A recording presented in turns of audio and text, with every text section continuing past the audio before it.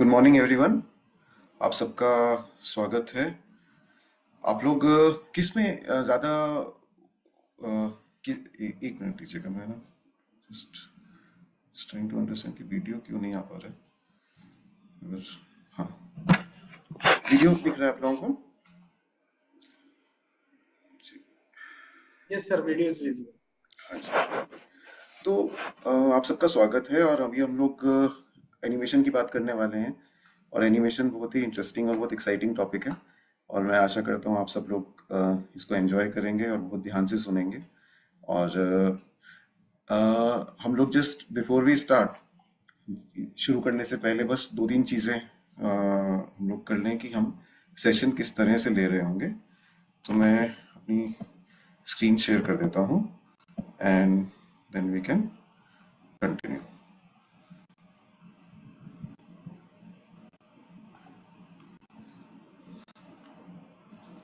I think आपको screen भी दिख रही होगी मेरी। स्क्रीन दिख रही है सबको? परफेक्ट तो अभी ऐसा है देखिएगा कि हम लोग एनिमेशन के बारे में बात करेंगे और एनिमेशन के अंदर हमें ये समझना है कि एनिमेशन जो है वो बहुत सिंपल चीज़ है। पहले एक एक छोटा सा ये भी कर लेते हैं कि आप जब भी हम बात कर रहे हो तो आप लोग आप चैट का यूज़ कीजिए पूरी तरीके से।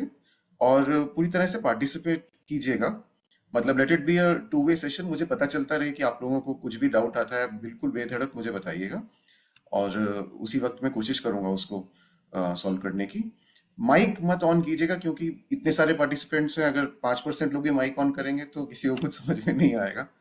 तो बट हाँ अगर आप हैंड रेस करेंगे और कुछ बहुत अर्जेंट होगा तो मैं डेफिनेटली आपको, मैं रिक्वेस्ट करूँगा कि आप ना माइक ऑन करें। तो हम लोग बात करने वाले हैं एनिमेशन की। तो सबसे पहली बात है कि एनिमेशन जो है बहुत आसान चीज़ है। ठीक है? Animation is no rocket science इसमें हम कुछ भी कोई, ऐसा नहीं है कोई बहुत बड़ी कोई रोबोटिक्स कर रहे हैं। बहुत बेसिक और बहुत सिंपल सी चीज़ है और उसके बस फंडामेंटल समझने ज़रूरी हैं। और जो फंडामेंटल्स होते हैं फंडामेंटल्स उसके ऊपर एक बिल्डिंग बनती है ना? जैसे एक नींव होती है, उसके ऊपर एक बिल्डिंग बनती है। तो यहाँ पर हम वो नींव की बात कर रहे हैं। अगर हमारी नींव बन गई तो हम उसके ऊपर कुछ भी बना सकते हैं। अगर नींव नहीं बनी है तो जितनी भी सुंदर बिल्डिंग हो, वो सूनर और लेटर उसका बेड़ा गर्क ही होगा। तो यहाँ पे हम कोशिश करेंगे उसके फंडामेंटल्स को समझने की। और दूसरा, हम लोग, जैसे मैंने बताया कि हम लोग will arrive at the answers together अब इसमें होता क्या है कि आप लोग सब बहुत ही एजुकेशनिस्ट और पढ़े लिखे लोग हैं, और हम लोग तो ज़्यादा प्रैक्टिस में रह गए हैं, हम लोग ज़्यादा इतनी पढ़ाई वढ़ाई नहीं कर पाए हैं बट बहुत सारी चीज़ें जो हम बता रहे होंगे, वो सारी चीज़ें आपको ऑलरेडी पता होंगी। ठीक है तो उसमें just bear with us and but of course अगर हम कुछ अगर हम कुछ कुछ गलत बोले या कुछ, अगर कुछ आपको लगे कि उसमें करेक्शन करनी हो तो मैं आपको ज़रूर रोकिएगा, मुझे प्लीज़ चैट में बताइएगा। खासतौर पे जो हमारे मैथ्स के टीचर्स हैं जो हमारे फिजिक्स के टीचर्स हैं, उनके लिए ये सेशंस इस सेशन में कुछ बातें बहुत बेसिक होंगी तो they have to just be with us उनको हमें थोड़ा सा हमें झेलना पड़ेगा। पर बाकी लोगों के लिए भी एक रिवीजन जैसा हो जाएगा, सब कुछ हमने स्कूल में पढ़ा हुआ है, ये बेसिक चीज़ें हैं। और like I said it's going to be an open session use chat raise hands and will just discuss ठीक है? नाउ कंसिडरिंग अब हम आगे बढ़ते हैं कि हम लोग क्या क्या पढ़ने वाले हैं इस सेशन में तो हम लोग पढ़ने वाले हैं कुछ बेसिक इंट्रोडक्शन करने सबसे पहले हम जानने वाले हैं कि क्यों एनिमेशन की ज़रूरत है? एनिमेशन क्या होता है? एनिमेशन के क्या क्या टाइप्स होते हैं? और उसके स्टेप्स क्या क्या हो सकते हैं डिज़ाइन करने के लिए? और फिर हम लोग बात करेंगे अ, उसमें अलग अलग फेजेस होते हैं। तो एक फ़ेज़ प्री प्रोडक्शन होता है तो हम लोग प्री प्रोडक्शन पर ज़्यादा फोकस करने वाले हैं क्योंकि बाकी के सेशंस में बाकी फेजेस भी बताए जाएँगे। तो प्री प्रोडक्शन के ऊपर हम थोड़ा बहुत वो करेंगे और हम स्टोरी बोर्डिंग स्टोरी बोर्डिंग समझेंगे थोड़ा डिटेल में, और शॉर्ट टेकिंग और then we'll have some questions questions generally भी हमारे चलते रहेंगे। अगर लास्ट में टाइम होगा तो we can have exclusive question session question answer session now before we continue मैं रिक्वेस्ट करूँगा आप लोग ध्यान से एक बार देखिएगा कि हम what are we getting into हम करने क्या जा रहे हैं? हम किस चीज़ में घुसने वाले हैं? तो एनिमेशन को सब लोग अलग अलग तरीके से देखते हैं। मैं एक छोटा सा एनिमेशन प्रेजेंट करना चाह रहा हूँ, करीब दो मिनट का है। आप एक बार उसको देखिएगा और उसको बहुत ध्यान से देखेगा क्योंकि हम उसको बीच में सेशन में भी एक दो बार we might be referring to it तो फिर हम उसके बाद में बात करते हैं। ठीक है? तो जस्ट इसको देखिएगा।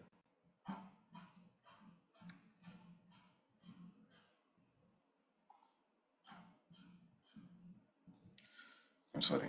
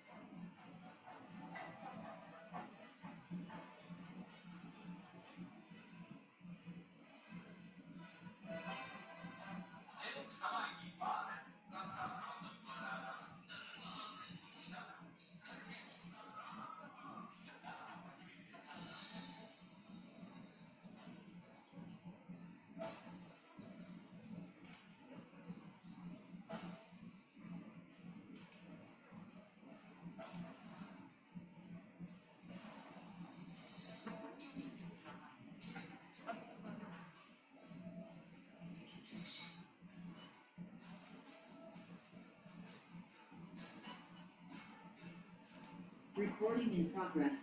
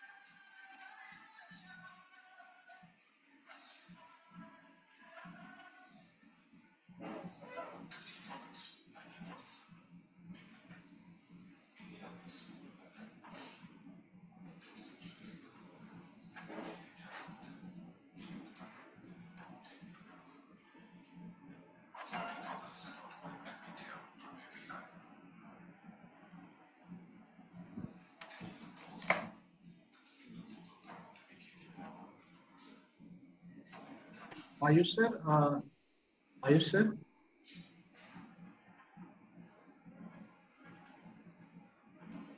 Are you sir?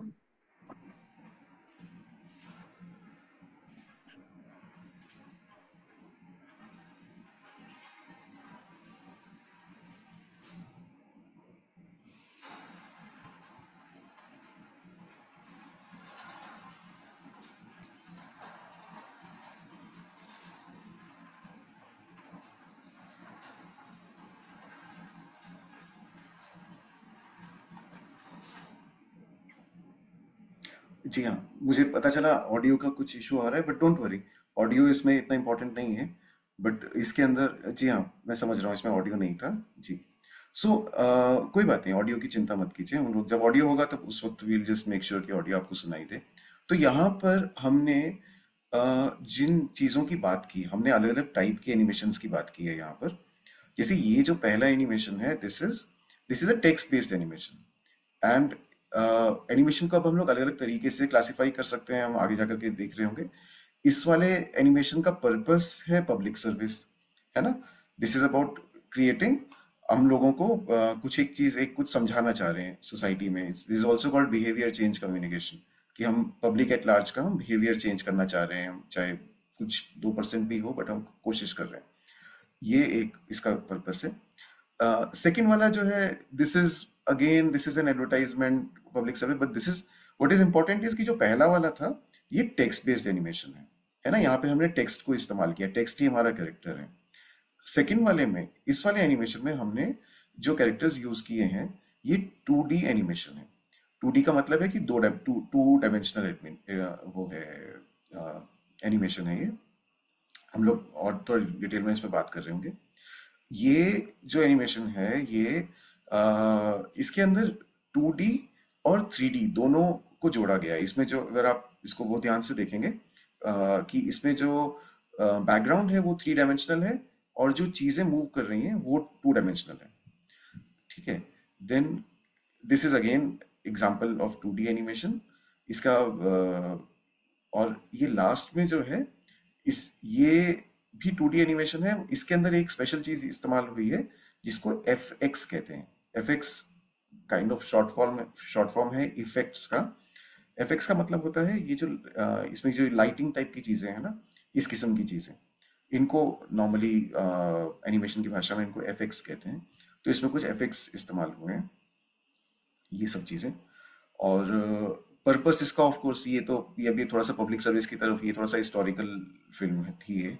जिसमें भारत की हिस्ट्री से हमने बात की थी कि जब भारत आज़ाद हुआ था तो क्या क्या दिशा ली, क्या उसमें चैलेंजेस थे उसके ऊपर थी। और फाइनली ये एक फ़िल्म है जिसके अंदर इसको बहुत ध्यान से देखिएगा, बहुत इंटरेस्टिंग है this is the other end of the spectrum ये जिसे कहते हैं ना, इसका इंद्रधनुष का दूसरा कोना है कि एक तरफ़ बिल्कुल बेसिक वाली हमने टेक्स्ट बेस्ड एनिमेशन देखी तो दूसरी तरफ़ ये जो चिड़िया यहाँ पर देख रहे हैं, ये चिड़िया एनिमेटेड है। सो आप जस्ट इमेजिन कीजिए कि कितनी पॉसिबिलिटी है। ये चिड़िया जो कि मैं एक बार दोबारा इसको प्ले करता हूँ, इसको ध्यान से देखिएगा। ये चिड़िया एनिमेटेड है, देखिएगा। अभी आएगा। एक सेकेंड बस। जी।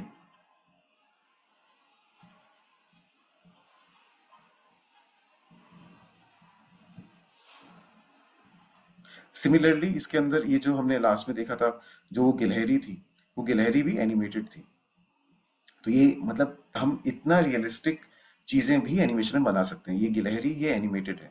और ये एनिमेटेड है क्योंकि अ, मतलब इसके अंदर एनिमेशन में बहुत सारी लेयर्स हैं बहुत सारा काम किया गया है।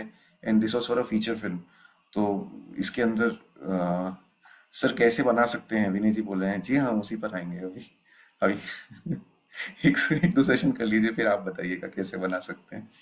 तो ये इसके अंदर ना बहुत सारे लेयर्स हैं। This is a very high end animation का एग्ज़ाम्पल है। ये बहुत ही अ, मतलब मुश्किल और एक बड़ी टीम इसको बनाती है उसका एग्ज़ाम्पल है। इसी तरीके से जो लास्ट में हमने देखा ये एक गेम का पार्ट है। एक फ़िल्म आई थी ओके जानू।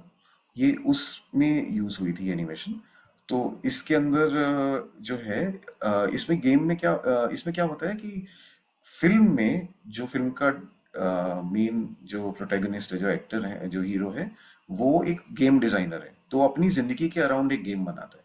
तो यहाँ पे हमने इस्तेमाल किया है एग्जैगरेशन का, अतिशयोक्ति, ठीक है? हमने हर चीज़ को थोड़ा थोड़ा ज़्यादा बढ़ाया गया है इसके अंदर। तो इसके अंदर जो है लाइट्स जो इसके अंदर जो लाइटें हैं, जो सॉरी जो रिफ्लेक्शंस हैं, वो हर एक चीज़ नॉर्मल से थोड़ी सी ज़्यादा है। ये देखिएगा, एक मिनट मैं, ये देखिए। इसमें एनिमेशन मतलब इसमें गेमिंग का फील दिया गया है। तो इसको कहते हैं हाइपर रियलिस्टिक मतलब हमने, जो जो हमने कवर किया, हमने बहुत बेसिक एनिमेशन कवर की, जो कि रियलिज्म से बिल्कुल दूर था, कोई लेना देना नहीं था। फिर हमने थोड़ा सा थोड़ा सा करेक्टर एनिमेशन की तरफ़ आए थे, जो टू डी एनिमेशन थी। फिर हम आए थे रियलिस्टिक एनिमेशन में, जहाँ पे हमने बात की थी ये ये चिड़िया और ये गिलहरी, आपको दिखाया कि हम इतना रियल चीज़ें भी बना सकते हैं। और फिर ये है बिल्कुल उसका दूसरा कोना जिसके अंदर है कि हाइपर रियलिस्टिक कि हम रियलिज्म को भी हमने आगे बढ़ा दिया। हमने रियलिज्म को भी हमने पीछे छोड़ दिया, हमने एक सपने की दुनिया में घुस गए। तो ये सब कुछ हम एनिमेशन में क्रिएट कर सकते हैं। तो इसके अंदर क्या क्या चीज़ें होती है? अभी हम लोग उसको ऊपर आ रहे होंगे। तो देखिए, हम आगे बढ़ने से पहले अगर हम देखें कि ना, एक एक, आपको ने, पता नहीं आप लोगों ने सुना होगा। एक बहुत फ़ेमस एक युक्ति है कि हर एक चीज़ में सबसे पहले पूछना चाहिए क्यों? एक किताब है साइमन बेनेक नाम के एक व्यक्ति की बहुत फ़ेमस किताब है स्टार्ट फ्रॉम वाई तो हम सबसे पहले हम लेट्स स्टार्ट कि हम एनिमेशन करना क्यों चाह रहे हैं? कि एनिमेशन क्यों? Why only animation why not a PPT why not why not why not a game why not a print तो एनिमेशन क्यों बनाना चाहिए? और क्या एडवांटेजेस है एनिमेशन की? इस बारे में कोई any inputs from you guys आप लोगों के कुछ यानी आपके क्या विचार हैं इस बारे में कि एनिमेशन क्यों बनाना चाहते हैं आप लोग? आप क्यों सीखना चाहते हैं एनिमेशन न्यू जनरेशन डिमांड जी, ज़्यादा एंगेजिंग है और इफ़ेक्टिव है इजी फॉर अंडरस्टैंडिंग अपीलिंग बिल्कुल बिल्कुल ठीक। रियलिस्टिक भी होती है and easily convey very effective very nice तो इट्स गुड कि आप लोग सब, मैं, आप लोग सब सुन रहे हैं ध्यान से। तो सो जब मैंने सोचना शुरू किया कि हमें क्यों एनिमेशन चाहिए तो ये एक कुछ एक दो पॉइंट्स मुझे समझ में आए थे कि एक तो है कि इट लाइटन्स द मूड है ना? कि जब अपन एनिमेशन करते हैं तो फिर हमें समझ में आ जाता है कि भाई आ, हम जब लोगों से बात कर रहे हैं तो कुछ सीरियस बात नहीं है और जैसे ही मूड लाइटन हो जाता है जब जैसे आप लोगों ने भी देखा होगा कि क्लासरूम्स में अगर हम बच्चों को बच्चों को अगर हम बोल रहे हैं कि बच्चों ध्यान से सुनना मैं बहुत इंपॉर्टेंट चीज़ पढ़ाने वाला हूँ तो उनका दिमाग वैसे ही बंद हो जाएगा। पर अगर उनको बोलूँगा कि हम लोग एक गेम खेलेंगे, हम लोग मस्ती करेंगे और कुछ थोड़ी सी बात भी करेंगे एंड सडनली सबके सब बहुत एक्साइटेड हो जाएँगे एंड आधी लड़ाई हमारी पूरी हो जाएगी। So that is where animation helps us in education right दूसरी चीज़ है इसके अंदर कि ये अटेंशन को बहुत इजीली अट्रैक्ट कर लेता है, क्योंकि इसके अंदर कुछ ऐसी चीज़ें हो जाती हैं कि भाई आप बहुत अजीब सी चीज़ें दिखा सकते हो, आप हाथियों को उड़ते हुए दिखा सकते हो, आप कुछ भी यू नो अजीब अजीब सी चीज़ें आप आप पर्पल कलर की गाय दिखा सकते हो, आप कुछ भी, कोई अलग प्लेनेट दिखा सकते हो। तो उससे क्या होता है कि जब आपने ऐसी कोई चीज़ आप दिखाते हो जो किसी ने नहीं देखी होती, जो अनएक्सपेक्टेड होती है तो ऑब्वियसली हमारा ध्यान उस पर जाता है। उस पर हमारा ध्यान गया तो हमारी अगेन आधी लड़ाई हमने जीत ली, हमने आधा उनको, बच्चों को हमने, जब उनकी अटेंशन मिल गई, उनकी आधी उनकी वो मिल गई तो फिर हम आगे उनको पढ़ा सकते हैं ना? किसी ने बताया एनहांसिस इमेजिनेशन बिल्कुल सही बिल्कुल सही। Long passage of time can be display in a single video of few minutes ये तो सर सुरेश जी ने लिखा है कि long passage of time can be display in a single video of few minutes पर ये तो खाली वीडियो में भी होता है और एनिमेशन स्पेशली हम यहाँ पे एनिमेशन की बात कर रहे हैं। ये जो आप बता रहे हैं तो वीडियो में भी होता है, ये तो नॉवल में भी होता है, किताब में भी होता है, जब भी मैं किसी को कहानी सुनाता हूँ तो ये मेरे ऊपर है, मैं उसमें, मैं सीधनली बोलता हूँ, दस साल बाद, दस साल बीत गए, एक सेकंड में दस साल बीत गए। So this is not you know ये वाला आपका पॉइंट तो अच्छा है, मगर खाली एनिमेशन पे लागू नहीं होता, और हर मीडियम पे लागू होता है। तो ये एक हमने इसके एनिमेशन की जो हम एडवांटेजेस देख रहे हैं कि lightens the mood attracts attention easily और एक और इंपॉर्टेंट चीज़ है कि ये हमें जो डिफ़िकल्ट टू शूट टॉपिक्स हैं देखिए, कुछ टॉपिक्स होते हैं जिनको शूट करना बहुत मुश्किल है। हम यहाँ पे, हम यहाँ पे बच्चों की बात नहीं कर रहे हम एक जनरल बात कर रहे हैं कि अगर मान लीजिए आपको एक सर्जिकल प्रोसीजर सिखाना है किसी को, आपको बताना है कि भाई घुटना कैसे रिप्लेस करते हैं, आप ऑर्थोपेडिक सर्जन को सिखा रहे हैं। अब आप बताइए, जब कोई से घुटना टूटेगा तब तक क्लासरूम वेट करती रहेगी क्या? उनका तो अपना सेशन है, उनका तो अपना छह महीने में उनको पूरा करना है सेमेस्टर तो वहाँ पर एनिमेशन मदद करता है। सिमिलरली अगर आपको अब आर्मी के ऑफिसर्स को सिखाना है, भाई लड़ाई का एक पर्टिकुलर पैंतरा सिखाना है तो या तो भाई आप हज़ारों लोगों को इकट्ठा कीजिए और उतने सारे टैंक्स लाइए और उतना पेट्रोल जलाइए और उतने बम फोड़िए और या फिर आप उसका एक एनिमेशन बनाइए, है ना? तो ये जो डिफ़िकल्ट टू शूट टॉपिक्स हैं this is another advantage of animation जब हम एनिमेशन को इस्तेमाल करना सीख जाएँगे तो हम इस, इन सब चीज़ों के लिए भी इस्तेमाल कर सकते हैं। दूसरा कुछ चीज़ें होती हैं जिनको फैंटेसी कहते हैं, जिनको जो कि रियलिटी में नहीं होती, है ना? जैसे हमने वो गेमिंग से सेशन की बात कर रहे थे। तो इनको, मैं तो कहता हूँ, जैसे पिकासो से मैंने पिकासो के बारे में थोड़ा सा पढ़ने का मौका मिला था तो वो कहते हैं जी this is this is higher reality this is not unreal so because he thinks that whatever you think is real just imagine कितनी इंटरेस्टिंग चीज़ है। कह रहे हैं कि जो भी आप इमेजिन करते हैं, वो रियल है। क्यों? क्योंकि वो एग्जिस्ट करता है। कहीं तो एग्जिस्ट करता है, कहाँ एग्जिस्ट करता है? आपकी इमेजिनेशन में एग्जिस्ट करता है। तो कोई भी चीज़ जो एग्जिस्ट करती है, वो रियल है। तो जो भी आप सोचते हैं, आपके विचार, वो रियल होते हैं। अब अगर वो रियल होते हैं तो उन विचारों के को आप किसी को बताना भी तो चाहेंगे तो वहाँ पे हमें एनिमेशन मदद करता है। तो ये सब की सब चीज़ें हैं जो एनिमेशन की जो है एडवांटेजेस हैं। और एक और एडवांटेज है कि ये जो है एब्स्ट्रैक्ट कॉन्सेप्ट्स को बताने में भी हमें मदद करता है। कि कई बार क्या होता है, जब आप किसी को मान लीजिए आप मैनेजमेंट की चीज़ें अरे वाह ये सर आपकी आवाज़ बहुत अच्छी है लग रहा है, आप रेडियो सुन रहे हैं। सर आप बहुत ध्यान से सुन रहे हैं, इसलिए आपको ऐसा लग रहा है ये आपका आपका प्रेम है कि आपको मेरी आवाज़ अच्छी लग रही है। पर मैंने कभी सुना नहीं किसी से, किसी को कोई खास मेरी आवाज़ पसंद नहीं आती। But thank you so much so animated infographics are a great way to depict abstract concepts तो एब्स्ट्रैक्ट कॉन्सेप्ट्स में क्या होता है कि देखिए, अगर आप किसी को मैनेजमेंट के कुछ फंडामेंटल्स समझा रहे हैं, आप मैनेजमेंट के तीन चार तरीके बता रहे हैं तो उन तरीकों को शूट करना भी मुश्किल है, उनको ड्रॉ करना भी मुश्किल है, मगर उनकी हैरारकी को समझना ज़रूरी है है ना? आप बता रहे हैं, भाई, तीन टाइप के प्रोजेक्ट होते हैं, कुछ ऐसा होता है, कुछ ऐसा होता है, इसके अंदर ये होता है तो वहाँ पे हम फंस जाएँगे। तो वहाँ पर ये हमें स्कीमेटिक बनाने में आसान करेगा स्कीमेटिक डायग्राम्स बनाने में, ठीक है? जो डायग्राम्स जिसके अंदर केवल बॉक्सेस हैं और मगर एक कॉन्सेप्ट समझ में आ गया तो वहाँ पे, जैसे किसी ने बताया एन डायमेंशन फिगर्स बिल्कुल ठीक मैम पूनम मैम ने बताया तो ये सब चीज़ें, ये हमारे एडवांटेजेस हैं एनिमेशन के। तो एनिमेशन के एडवांटेजेस जब हमने समझ लिए तो अब हम थोड़ा सा एक और नेक्स्ट स्टेप पे चलते हैं कि भाई एनिमेशन का मतलब क्या है। ठीक है, ये सवाल वैसे तो पहले होना चाहिए था, पर आपको अभी समझ में आएगा कि क्यों बाद में आया है। आप मुझे बताइए कि एनिमेशन से आप क्या समझते हैं? जरा सोच के बताइएगा। मुझे क्योंकि आप लोग सब बहुत पढ़े लिखे लोग हैं तो मुझे ऐसे आंसर नहीं चाहिए कि एनिमेशन जो मतलब थोड़ा सोच के बताइएगा कि अगर हमें if you were to think of और if you were to design और क्रिएट और कंस्ट्रक्ट आपकी भाषा में if you were to construct a definition of animation what would be the definite animation की डेफिनेशन क्या होगी? यस सडनली मैसेज आने बंद हो गए। Yes, it puts life to pictures. Okay imagination in virtual form. Sir क्या ये है डेफिनेशन है? सोचिए।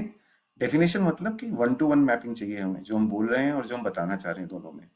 Imagination in virtual form animation is the motion of still images yes this is good so Saima ji, आपसे एक छोटा सा सवाल और है। आपने बताया कि animation is the motion of still images but is there anything moving सोचिएगा। आप सामने बैठे हैं, आपके सामने टीवी चल रहा है। क्या चीज़ हिली? आप हिले या टीवी हिला?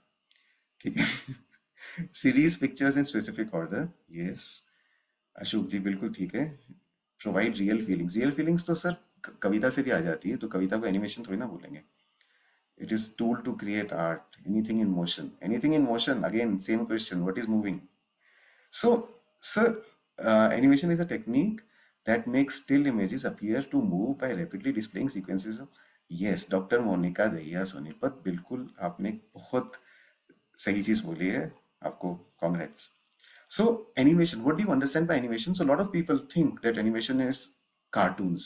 Animation cartoons होते हैं एनिमेशन ग्राफिक्स होते हैं एनिमेशन मूविंग पिक्चर्स होते हैं, जो कि सब कुछ सही है पर अगर हम समझें एनिमेशन कैसे काम करता है और एनिमेशन क्या होता है तो हम ये समझ में आता है कि एनिमेशन एक तरीका है जिसमें यह बहुत ध्यान से सुनिएगा, जिसमें in which figures are manipulated to appear as moving images उसमें जो फिगर्स हैं, उनको मैनिपुलेट किया जाता है। मैनिपुलेट मतलब उनके साथ में कुछ छिड़कानी की जाती है, जिससे कि वो अपियर हो, जिससे कि वो ऐसा दर्शें, ऐसा दिखें कि वो मूविंग पिक्चर्स हैं।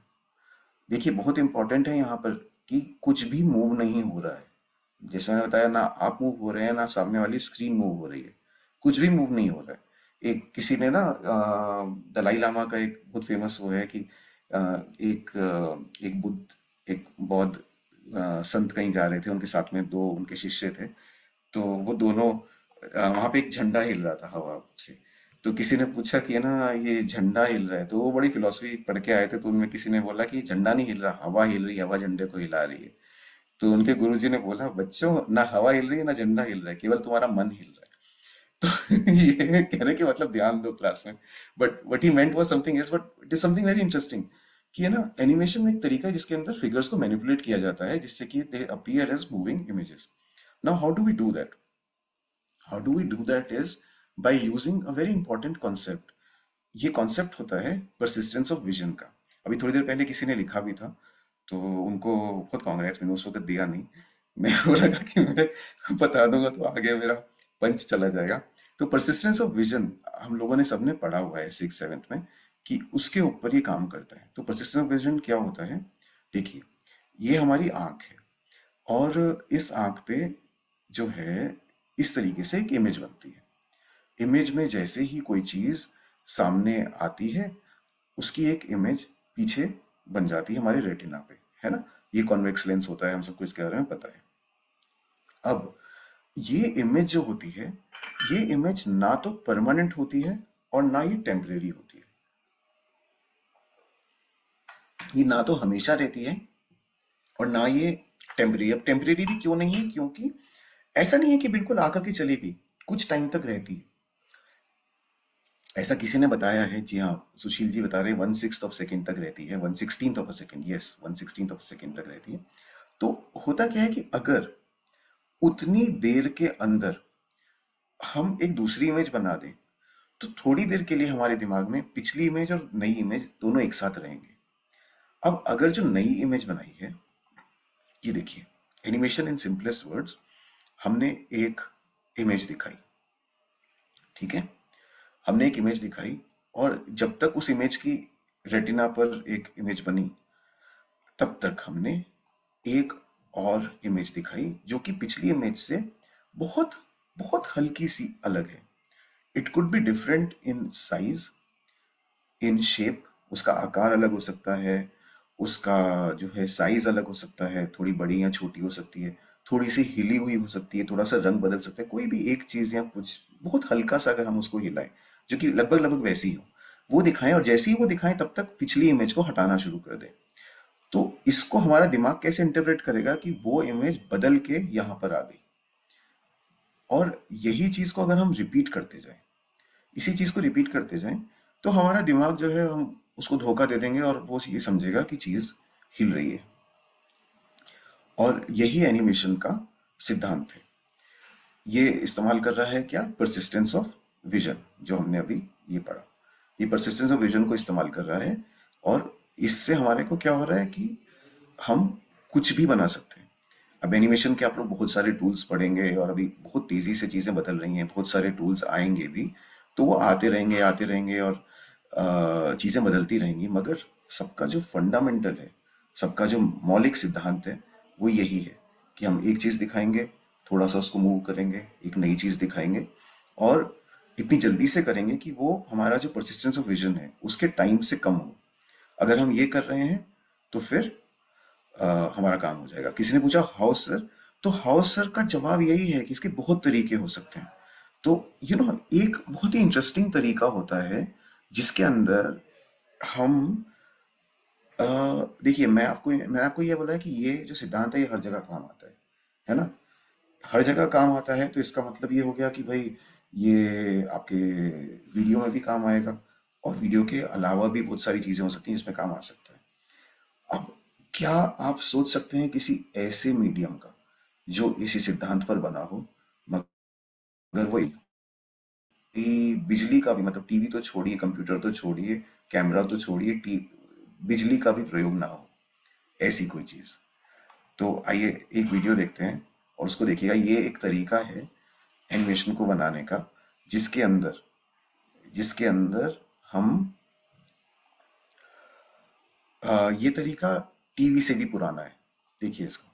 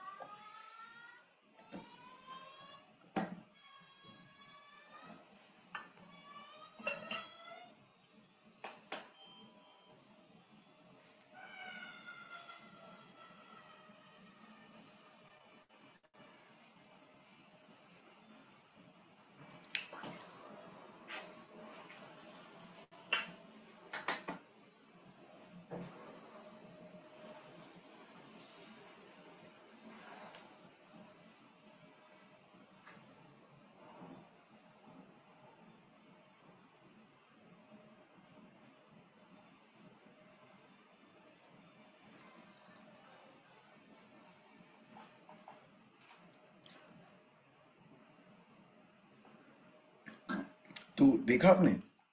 इसको क्या कहते हैं? किसी ने बहुत अच्छे से बताया मुझे। इसको कहते हैं फ्लिप बुक बलगर सिंह जी ने बताया। और क्रिकेट बुक का भी नाम दिया जाता है। कल्पेश जी बता रहे हैं क्रिकेट के लिए भी ऐसे बनते हैं। कुछ एक दो सवाल आए हुए हैं। अगर हम जगजीत कौर मैम कुछ पूछना चाहती हैं, आप बताएँगे? पूछेंगे? प्लीज़ अपने आपको अनम्यूट करके जल्दी से बताए, पूछिए।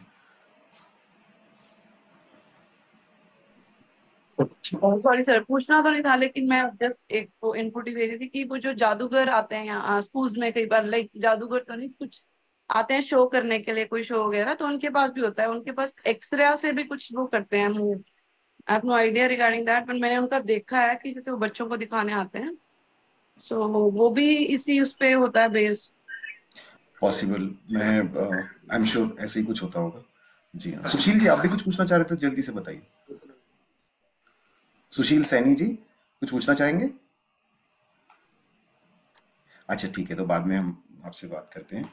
तो आ, हम बात कर रहे थे कि ये इसको हम कहते हैं फ्लिप बुक और ये फ्लिप बुक जो है ये बहुत पुराना पुरानी टेक्नोलॉजी है। टेक्नोलॉजी अगर हम इसको बोल सकते हैं।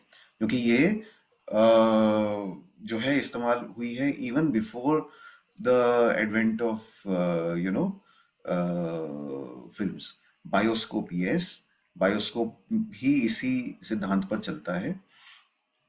तो बेसिकली इसमें कुछ भी नहीं है, ये आप बहुत आराम से बना सकते हैं और इसके अंदर आपको स्केचिंग की नॉलेज तो चाहिए, मगर बहुत बेसिक नॉलेज से भी बन जाता है।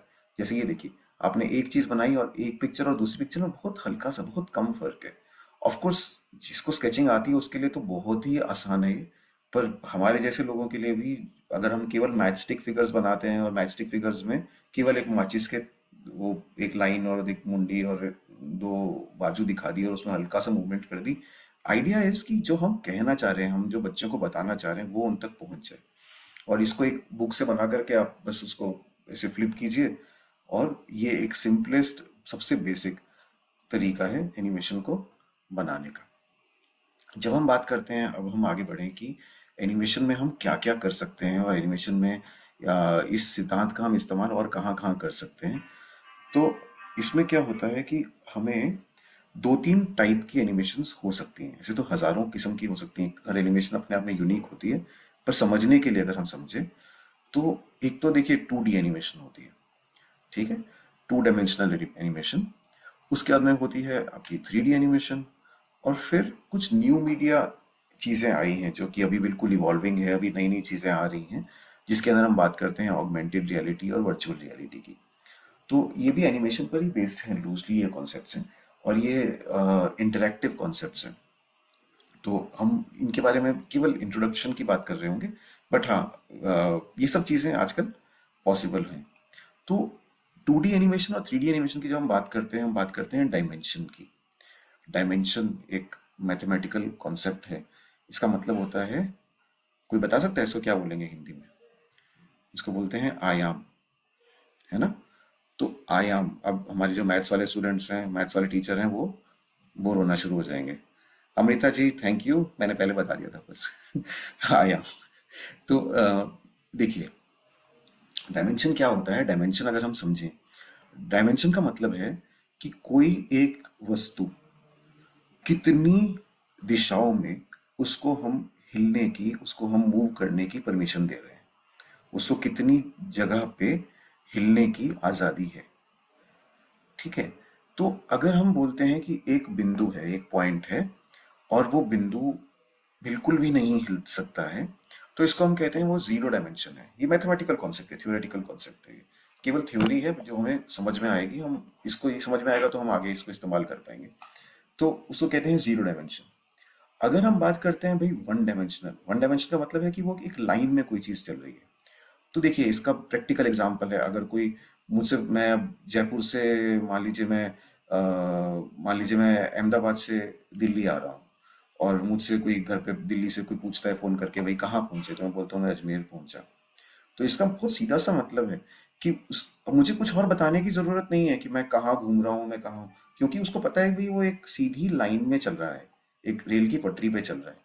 क्यों? क्योंकि जाने अनजाने में हम ये समझ रहे हैं, वो व्यक्ति भी ये समझ रहा है, मैं भी ये समझ रहा हूँ कि हम वन डायमेंशनल में वन डायमेंशन में कम्युनिकेट कर रहे हैं। तो केवल एक ही एक ही इनपुट काफ़ी है ये बताने के लिए कि मैं एग्जैक्टली exactly कहाँ हूँ, है ना? ये वन डायमेंशनल कम्युनिकेशन होती है। थैंक यू मीनू जी, आपके इंकरेजमेंट के लिए। सेकेंड इज़ कि two D dimension two D के अंदर जिसमें हमारे पास में आज़ादी है, दो दिशाओं में मूव करने की मतलब प्लेन जैसे एक टेबल पर अगर एक चींटी चल रही है तो वो यहाँ आगे जाएगी या पीछे जाएगी या लेफ़्ट या राइट जाएगी। ठीक है ना? उसको, उसकी पोजीशन को, उसकी पोजीशन को यूनिकली बताने के लिए मुझे दो इनपुट्स चाहिए, कि वो लेफ़्ट वाले एज से कितनी दूर है और नीचे वाले एज से कितनी दूर है। मतलब यहाँ पे अगर हम देखें कि भाई लेफ़्ट वाली जो दीवार है उससे कितनी दूर है और नीचे वाली दीवार से कितनी दूर है, इसी को हम एक्स और वाई कोऑर्डिनेट कहते हैं। तो वो ये दो इन्फॉर्मेशन मुझे मिल जाती है तो मुझे समझ में आ जाता है कि वो चीटी कहाँ पर है। This is two D animation two D this is two dimensional geometry और थ्री में ऑफकोर्स ये हो जाता है कि भाई वो आ, अगर चीटी उड़ने भी लग जाए चीटी ना हो मक्खी हो जाए तो वो थ्री डायमेंशनल हो जाएगा। तो यहाँ पर body in space is in three D Jag Mahendra ji आपकी बात सही है मगर अब मुझे आगे बताइए थ्री डी है या फोर डी है? आइंस्टाइन तो कहते हैं फोर डी है। आइंस्टाइन जी कहते हैं कि जो टाइम है वो चौथी डायमेंशन है। जैसे हम ये तीन डायमेंशन में मूव कर सकते हैं हम चौथी डायमेंशन में भी टाइम में भी आगे पीछे जा सकते हैं। थ्योरेटिकली केवल आगे आ, मतलब प्रैक्टिकली हम खाली आगे ही जा सकते हैं पर आइंस्टाइन कहते हैं हम पीछे भी जा सकते हैं। पर इस सिद्धांत का भी हम प्रयोग कर सकते हैं क्योंकि फ़िल्म में तो हम पीछे भी जा सकते हैं। जब हमने एनिमेशन दिखाई है उसको हम रिवाइंड तो रिवाइंड तो कर ही सकते हैं। तो ultimately what I am trying to say is कि जो डायमेंशन है इसको जैसे हमने समझा तो हमें समझ में आया कि हमने जो ये, हम क्यों समझ रहे हैं, ताकि समझ रहे हैं हम कितने किस्म की एनिमेशन होती हैं। तो जब हम टू और थ्री की बात करते हैं तो टू एनिमेशन वो है जिसके अंदर हम टू स्पेस मतलब ये जो तीसरा कॉलम है, इसके अंदर जो टू स्पेस में हमारे फ़िल्म में जो कैरेक्टर्स होंगे, जो चीज़ें होंगी, उनको मूव करने की आज़ादी टू स्पेस में होगी। ठीक है? और वो चीज़ें भी टू डायमेंशनल होंगी। और थ्री डी एनिमेशन वो हो जाती है जिसके अंदर ये दोनों की दोनों चीज़ें थ्री डायमेंशनल होंगी। तो two D animation is an animation film which involves flat characters moving on a two D canvas कि हमारा कैनवस जो है, हमारा चित्रपट भी टू डायमेंशनल है और हमारी चीज़ भी, जो चीज़ उसमें मूव कर रही है, हमारे पात्र भी टू डायमेंशनल है। ठीक है? सिमिलरली इसके इसके एग्जाम्पल्स हमने देखे तो हमने जैसे अभी पहले हमने कुछ देखे थे तो इसके अंदर अब इस पिक्चर को बहुत ध्यान से देखिए। हम एनालाइज करते हैं इसको कि अब इसके अंदर ये खच्चर है, एक व्यक्ति आगे खड़ा है, तीन, चार व्यक्ति पीछे खड़े हैं। पर ये सारे के सारे एक्चुअल में तो एक ही स्क्रीन में है ना? हमने इनको आगे पीछे जो किया तो हमने आगे वाले व्यक्ति की अगर आप हाइट देखेंगे, इसकी हाइट इसकी हाइट पीछे वालों से थोड़ी सी ज़्यादा है। और उसके कारण हम एक धोखा क्रिएट कर रहे हैं, हम एक इल्यूजन क्रिएट कर रहे हैं, जिससे हमें, हमारी आँखें और हमारा दिमाग ऐसा समझ रहा है कि हमारे से ज़्यादा पास है। कि ये व्यक्ति सबसे आगे है, उसके पीछे ये खच्चर है और उसके पीछे ये लोग हैं। तो एक्चुअल में है सबके सब एक ही प्लेन में correct so this is two D two D animation या टू डी का एक एक एग्ज़ाम्पल एक और एग्ज़ाम्पल है, ये देखिएगा। अब यहाँ पर भी एक एक, ये डाकुओं की एक डेन है गब्बर सिंह की। तो इसके अंदर अब देखिए जो जो पुलिस वाला सबसे पीछे है और जो पुलिस वाला सबसे आगे है, इन दोनों की साइज़ में फ़र्क है। तो इसके अंदर हम साइज़ में फ़र्क करते हैं। हम इसके अंदर चीज़ों को ओवरलैप करवाते हैं। जैसे ये आ, ये जो इंस्पेक्टर है इसके बाजू से पीछे वाला जो हवलदार है वो थोड़ा सा ओवरलैप हो रहा है। इन सब चीज़ों से हम एक इल्यूजन क्रिएट करते हैं। सिमिलरली शेडोज जैसे इसकी जो चारपाई के नीचे शेडो पड़ रही है इससे एक इल्यूजन क्रिएट हो गया कि ये चारपाई है और ये और ये ज़मीन है। बट ये सब कुछ हम क्रिएट कर रहे हैं। इसमें से कुछ भी ऑटोमेटिक नहीं हो रहा है क्योंकि कंप्यूटर की दुनिया में कंप्यूटर की मेमोरी में ये सब के सब केवल एक ही प्लेन पे हैं। क्योंकि क्यों एक ही प्लेन पर है? क्योंकि हमारे पास में केवल एक ही प्लेन है। और एक ही प्लेन क्यों है? उसका आंसर है ये, क्योंकि ये एक टू एनिमेशन है। ठीक है?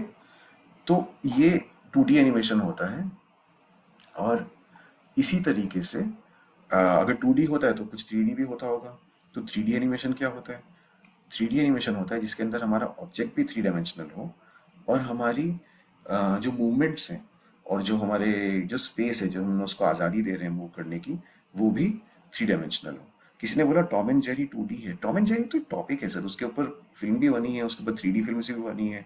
हाँ पहले बहुत सारी टू डी फ़िल्म बनी थी। अभी रिसेंटली जो बन रही है, वो थ्री फ़िल्म बन रही है। तो नौ थ्री फ़िल्म के थ्री फ़िल्म के एनिमेशन के कुछ एग्ज़ाम्पल अगर हम देखें छोटा सा एग्ज़ाम्पल है, दस सेकंड का एक बार देखिएगा। तो आपको समझ में आएगा कि वह कैसे टू से अलग है। ये देखिए।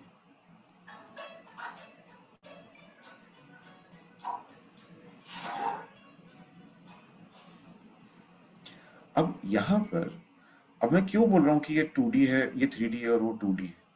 तो इसके अंदर आप देखिए ये आउटपुट की बात नहीं है थोड़ा सा बात है कंप्यूटर इसको कैसे इंटरप्रेट कर रहा है और कंप्यूटर की मेमोरी में कैसे स्टोर हो रहा है। तो कंप्यूटर की मेमोरी में ये जो बच्चा है ये एक शेप की तरह स्टोर हो रहा है और कंप्यूटर की मेमोरी में इसके सारे ये चारों तरफ़ से एक आ, एक शेप की तरह स्टोर हुआ है। इसका पीछे की दीवार भी है। मगर जब हम पीछे गब्बर सिख की बात कर रहे थे उसकी केवल एक ही दीवार थी उसकी कोई डेप्थ नहीं थी। इसकी डेप्थ भी है। इसमें अगर हम चाहें तो हम इस हम देख सकते हैं। जैसे हमने इसके सिर का एक ऊपर का कोना देख रहे हैं साइड का कोना देख रहे हैं तो ये फ़र्क है। मतलब इसको जब हम कंप्यूटर में बनाएँगे तो हम एक स्फीयर बना रहे होंगे और जब हम आ, उसको बनाएँगे क्या नाम है आ,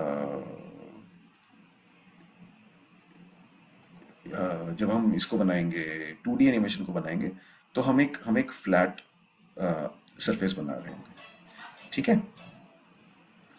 तो अब जस्ट क्विकली आगे बढ़ने से पहले हम एक बार बहुत छोटा सा कॉन्सेप्ट है इसको कवर कर लेते हैं, फिर हम आगे बढ़ेंगे।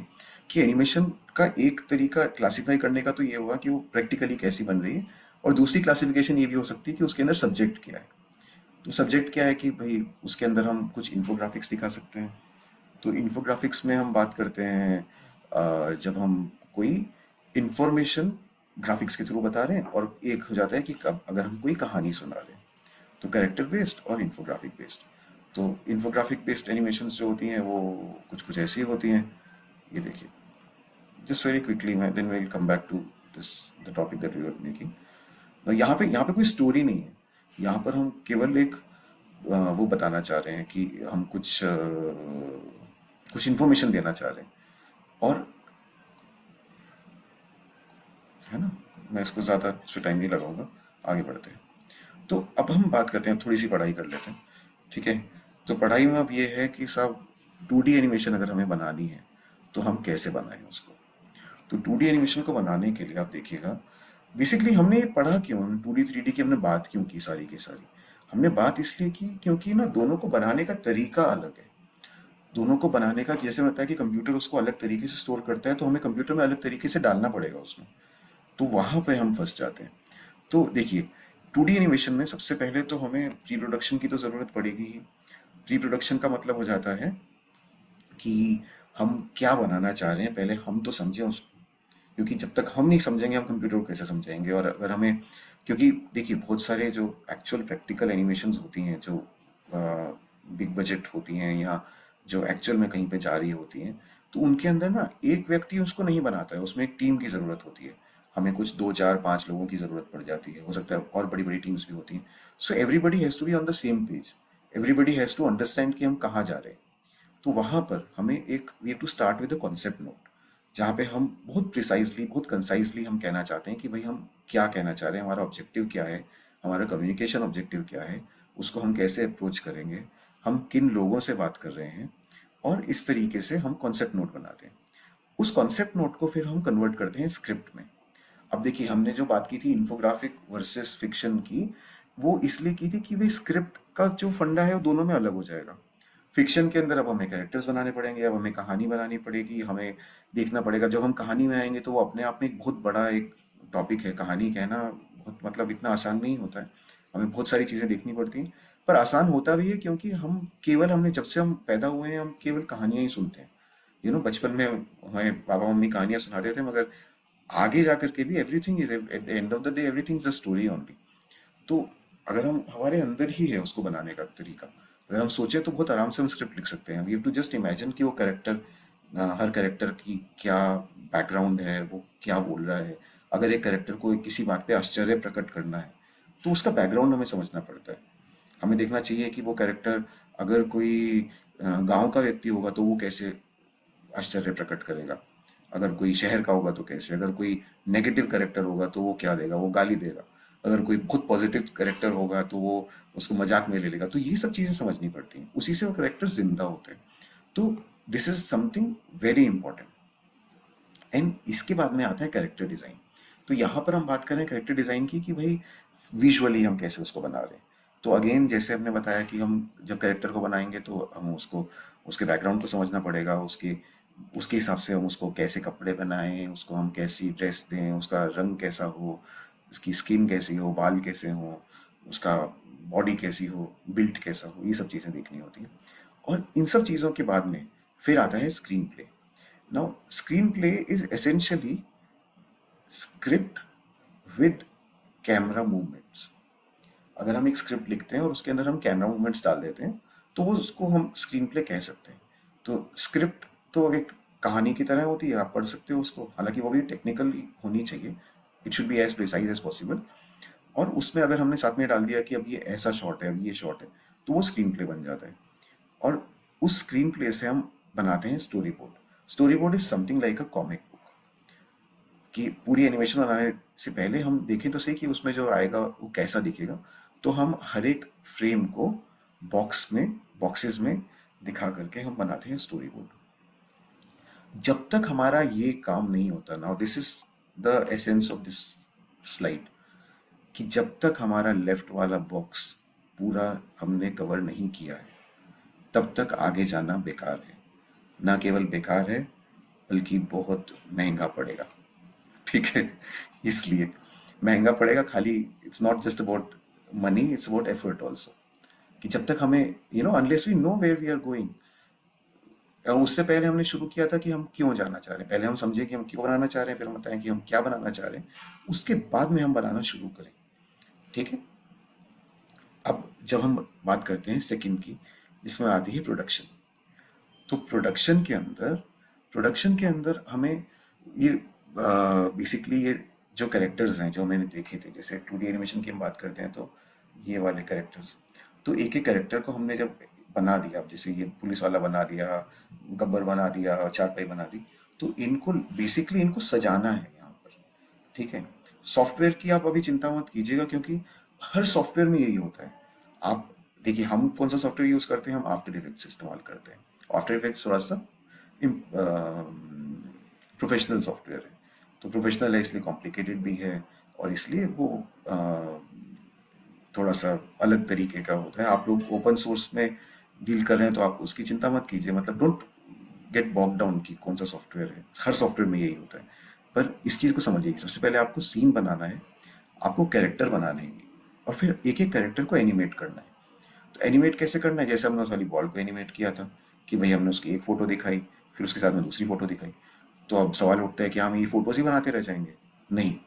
हम कंप्यूटर को ही बताएँगे कि भाई सबसे पहली फ़ोटो ये है, सबसे लास्ट फ़ोटो ये है। कंप्यूटर में इतनी बुद्धि अब आ गई है कि वो बीच के सारी फ़ोटोज़ हमें बना करके दे देगा। तो हमारा काम आसान हो जाता है। So this is character animation इसके बाद में नेक्स्ट स्टेप होता है secondary animation now what are secondary animation देखिए, होता क्या है कि ये थोड़ा सा एक्टिंग वाला लाइन भी है और भी कई जगहों पे आती है कि जब हम किसी भी कैरेक्टर को हमें जीवित दिखाना है तो हम अब अगर मान लीजिए मैं आपसे बात कर रहा हूँ, आपको मेरी शक्ल दिख रही है, अगर मेरा खाली मुँह ही हिलता रहता ठीक है? तो थोड़ा सा नकली लगता है ना वो। क्योंकि हम हमेशा केवल एक ही चीज़ नहीं हिलाते हम बहुत सारी चीज़ें और भी कर रहे होते हैं। हमारे हाथ पाँव कुछ दस चीज़ें और सडनली ये भी होता है सडनली इधर उधर भी देखते हैं। ये सब होती है सेकेंडरी एनिमेशन और ये डिपेंड करती हैं हमारे आ, हमारे कैरेक्टर पर हमारे कैरेक्टर की बैकग्राउंड स्टोरी पर और इस तरीके से। एआई से ज़्यादा आसान हो गया है। जी हाँ एआई से काफ़ी चीज़ें आसान हो गई हैं। हम लोग एआई भी बहुत छोटा सा कवर करेंगे, बिल्कुल बेसिक में एंड में। ठीक है?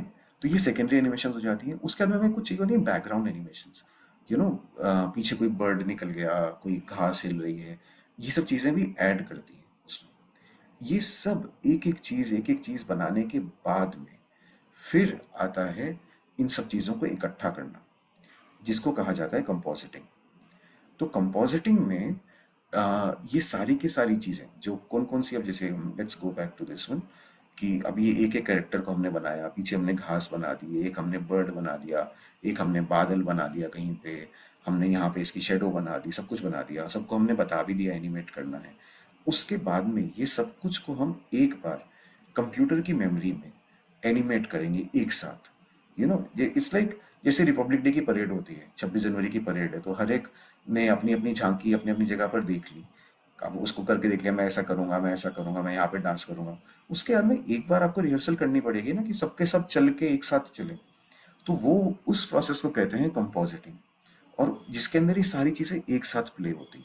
अब ये एक साथ जब प्ले होंगी तो सॉफ्टवेयर कोई भी हो, मगर कंप्यूटर के ऊपर बहुत ज़्यादा लोड पड़ेगा।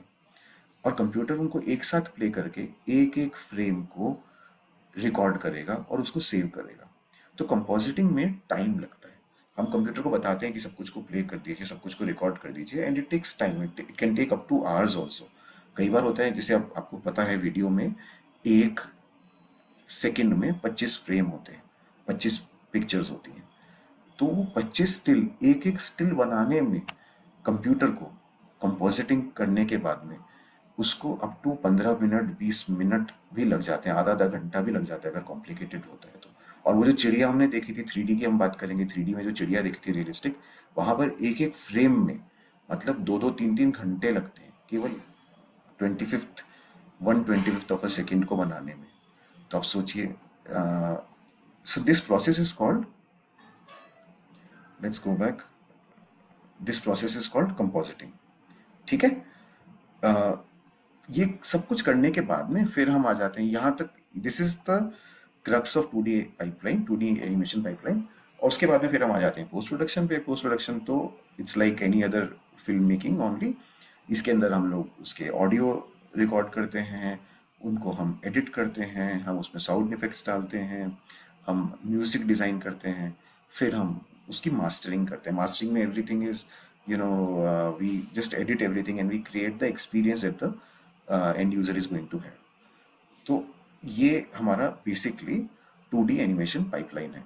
थोड़ा बहुत उन्नीस बीस ऊपर नीचे हो सकता है बिकॉज़ हर मतलब हम आ, ये थ्योरेटिकल है मगर चीज़ें बदलती हैं हर प्रोजेक्ट अलग होता है हर प्रोजेक्ट की रिक्वायरमेंट अलग होती है।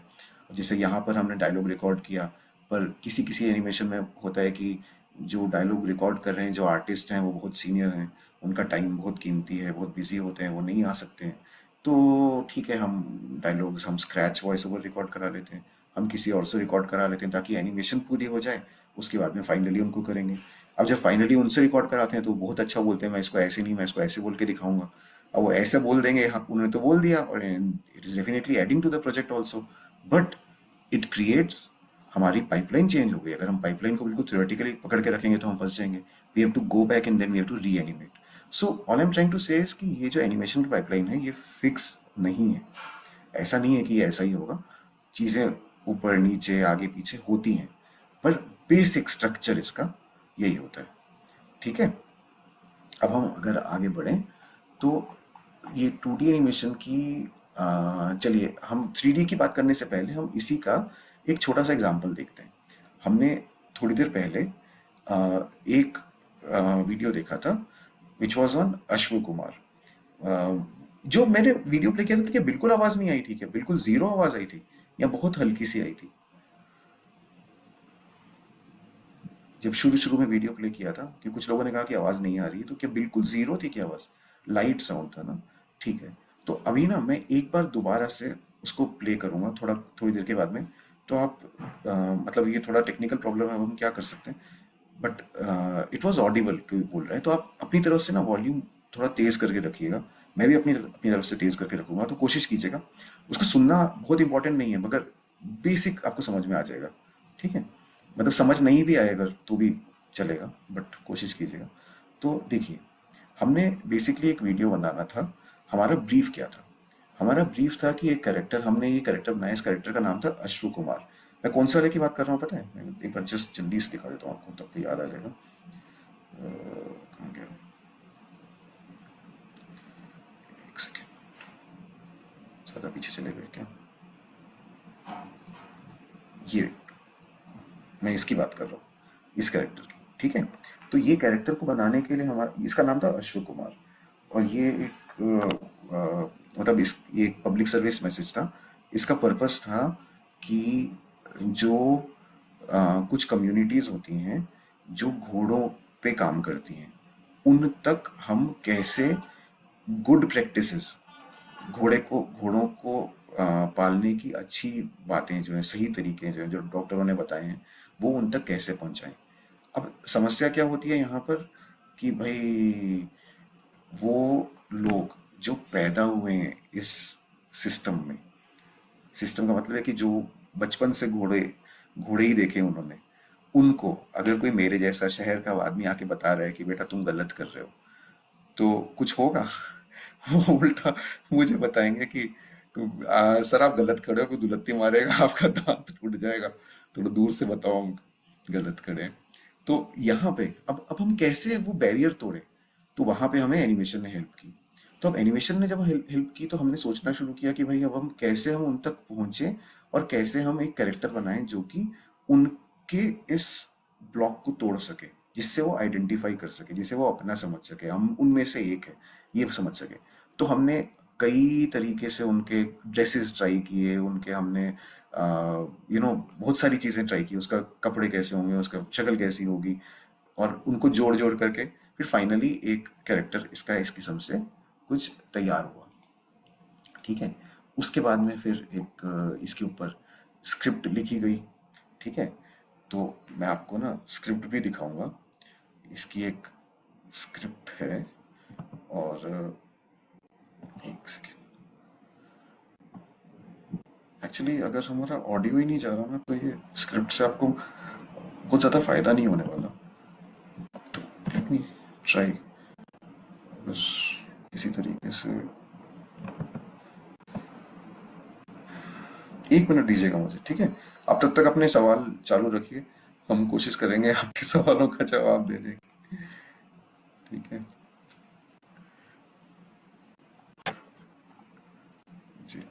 मैं ना एक मिनट के लिए अनशेयर करूँगा और जिस मुझे एग्जैक्टली वन मिनट का टाइम दीजिएगा। And I am trying to get that script and I am trying to get the audio sorted ठीक है? अगर कोई और सवाल है तो आप मुझे प्लीज़ बताइएगा।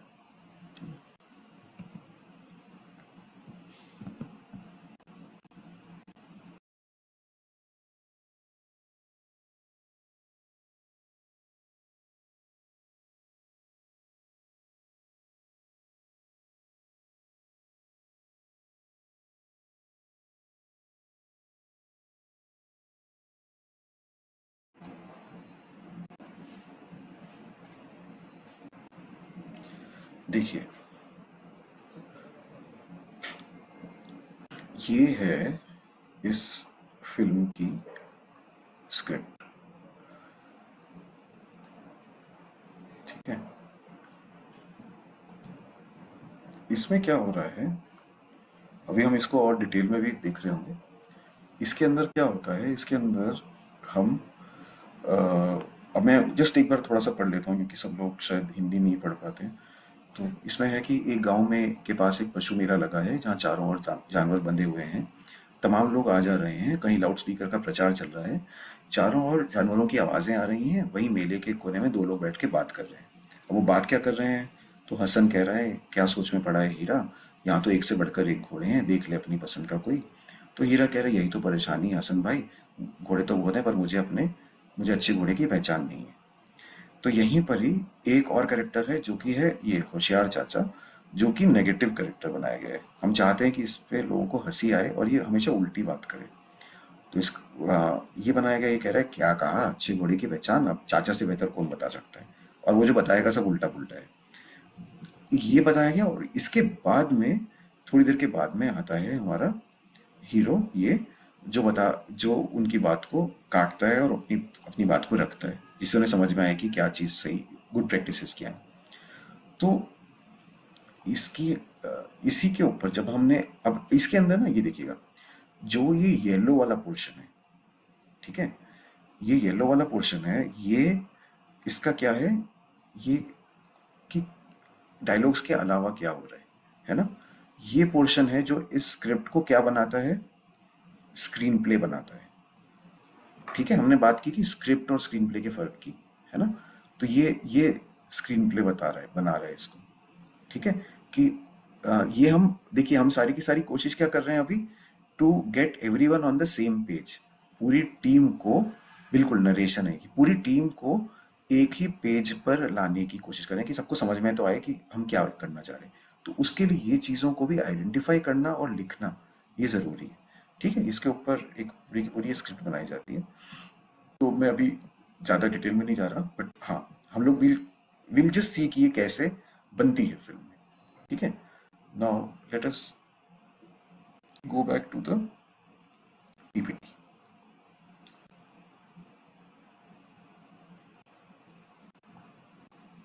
तो हमने कैरेक्टर को डिज़ाइन किया और हमने बात की, देखिए। हमने जब वो स्क्रिप्ट की बात की, उसके बाद में हमने उस स्क्रिप्ट से हमने वो इंस्ट्रक्शंस लिखी और उन सब इंस्ट्रक्शंस से हमने बनाना शुरू किया एक स्टोरी बोर्ड स्टोरी बोर्ड में हम क्या बता रहे हैं? हम बता रहे हैं कि हम कैसे इसको इमेजिन करना चाहते हैं। ठीक है? ताकि हमारी पूरी टीम हम सभी लोग एक एक पेज पर आ सके। तो यहाँ पर देखिए, जब उसमें लिखा गया, जब हम लिखेंगे तभी हम बना पाएँगे। अब आप बनाएँ या आपकी टीम का कोई मेंबर बनाए या कोई आर्टिस्ट बनाए, आप लोगों के साथ में मिल करके वो एक अलग बात है। या आप किस सॉफ्टवेयर से बना रहे हैं, वो एक अलग बात है। हर चीज़ को करने के बहुत तरीके होते हैं, मगर करना क्या है, वो हम समझना चाह रहे हैं यहाँ पर। तो करना ये है कि आपको पहले ये लिखना ज़रूरी है, और उसको लिख करके फिर उसको इंटरप्रेट करना ज़रूरी है एक विजुअल तरीके से। कि साहब, हमने जो है यहाँ पर ये बनाना शुरू किया एक ये आ, हम कह रहे हैं गाँव के आसपास एक पशु मेला लगा है तो हमने सोचा कि हम कैसा कैमरा कैमरा कहाँ रखें? पूरे पशु मेले को रखना है तो हमने इसको टॉप एंगल दिखाया हमने इसको हवा में दिखाया है ना? एंग आई थिंक आप लोगों ने शॉर्ट टेकिंग तो समझा हुआ है ना बेसिक कि कैसे वीडियो में क्या क्या किस्म के शॉट्स होते हैं। क्योंकि वो मैंने स्किप कर दिया टाइम बचाने के लिए। नहीं तो मैं बहुत क्विकली अगर आप चाहें तो मैं बता सकता हूँ। बताना चाहेंगे? मतलब सुनना चाहेंगे उसके बारे में? या हम आगे बढ़े? सुनना चाहेंगे। Okay okay. तो मैं थोड़ा सा then will come back to it just very quickly तो देखिएगा कि जब हम कंप्यूटर के, इसकी फिल्म्स की बात करते हैं तो हम कहते हैं कि हम किसी भी चीज़ का जब हम वीडियो बनाते हैं तो किस किस तरीके से हम उसको शूट कर सकते हैं? तो इनके, ये एक स्टैंडर्ड कम फिल्म्स की लैंग्वेज होती है और उसी हिसाब से इनके नाम भी होते हैं। तो ये सब चीज़ें भी आइडियली हमें स्क्रीन प्ले पे लिखनी चाहिए। जैसे हम मीडियम शॉट इसको एम एस मतलब मीडियम शॉट देखिए एक्स एल एस मतलब एक्स्ट्रा लॉन्ग शॉट ठीक है? लॉन्ग मतलब कि हम दूर से देख रहे हैं, ठीक है? हमारा distance is long this is long shot जिसमें हम पूरा पूरा करेक्टर को देख रहे होते हैं। This is medium long shot M L S है ना? तीसरा, फिर है medium shot most of the film is between medium shot and M medium closeup medium closeup ठीक है? हम ऐसे तो अगेन कोई रॉकेट साइंस नहीं है, कोई किसी किताब में, किताबों में लिखा होता है ये सब, पर कोई ऐसा फिक्स नहीं कि ऐसे ही करना है, कोई कानून नहीं है, ठीक है? बट इन चीज़ों को फॉलो करते हैं तो हमारे लिए आसान हो जाता है चीज़ें। तो हम जब स्क्रिप्ट लिख रहे हो तो हम ये चीज़ें भी लिख सकते हैं कि मैं इसको कैसे इमेजिन कर रहा हूँ? क्या मैं इसको सामने से देखना चाह रहा हूँ, मैं साइड से देखना चाह रहा हूँ? क्या मैं इसको छोटा देखना चाह रहा हूँ, बड़ा देखना चाह रहा हूँ? क्योंकि ये जब आप कर रहे होंगे, उस वक्त अगर आप डालेंगे तो आपको आपको कंफ्यूजन भी होगी और आपका टाइम वेस्ट होगा। पूरी टीम का टाइम और रिसोर्सेज वेस्ट होंगे। जब आप शांति से बैठ करके इसको लिख रहे हैं, कमरे में अकेले बैठे हुए हैं, तब आप ये चीज़ें भी सोचिए कि हम इसको जब इमेजिन कर रहे हैं तो ये विजुअली कैसा होगा। कहीं बहुत ही, किसी ने बहुत अजीब बात कर दी तो आप जा सकते हैं। ये बिग क्लोजअप कहते हैं इसको, जो नीचे से सेकेंड लास्ट सेकेंड लास्ट है बी फिर होता है एक्सट्रीमली क्लोजअप जिसके अंदर बिल्कुल केवल एक्सप्रेशन दिख रहे होते हैं। तो ये कभी यूज़ नहीं होता मतलब it's like one in thousand पूरी फ़िल्म में एक बार यूज़ होगा शायद। Most of the film is medium short and M C U and closeup ठीक है? देन सिमिलरली ये जैसे हमने इनको समझा, इसी तरीके से कैमरे की मूवमेंट्स होती हैं। तो कैमरे की मूवमेंट्स में होता है, भाई लेफ़्ट से राइट हम मूव कर रहे हैं, हम सामने से देखना चाह रहे हैं किसी को, हम ट्रैक आउट हम आगे से पीछे जा रहे हैं, हम जूम आउट कर रहे हैं। जूम आउट ट्रैक में हल्का सा फ़र्क होता है ना, कि जूम में आप केवल कैमरे के लेंस को मूव करते हैं ट्रैक में आप पूरे पूरे कैमरे को मूव करते हैं। इसी तरीके से अपना एनिमेशन में भी होता है ये चीज़। हम टिल्ट अप टिल्ट डाउन जिसके अंदर हम एंगल चेंज कर रहे हैं और पेड अप पेड डाउन जिसके अंदर हम कैमरे को ऊपर नीचे लेकर के जा रहे हैं। तो ये सब चीज़ें जब हम डालते हैं और इन्हीं सब चीज़ों को, देखिए, यही है। ये सब आपको मिल ही जाएगा पीपीटी आपको सब दे दिया जाएगा। तो सिमिलरली ये नाउ दिस इज़ इंपॉर्टेंट कि हम किस एंगल से शूट कर रहे हैं। हम कई बार लो एंगल से शूट करते हैं किसी चीज़ को, है ना? Most of the time most of the time eye level होता है। हम किसी की फ़ोटो भी खींचते हैं तो हम आई लेवल पे ही देखते हैं ना, क्योंकि हमारा जब हम किसी से बात करते हैं तो सामने वाला कहता है कि इधर उधर क्या देख रहे हो? मेरी आँखों में देखो। है ना? तो आँखों में देखो, क्योंकि हम उसको हम आँखों में समझते हैं। हम हम अपनी बॉडी में हम कहाँ रहते हैं?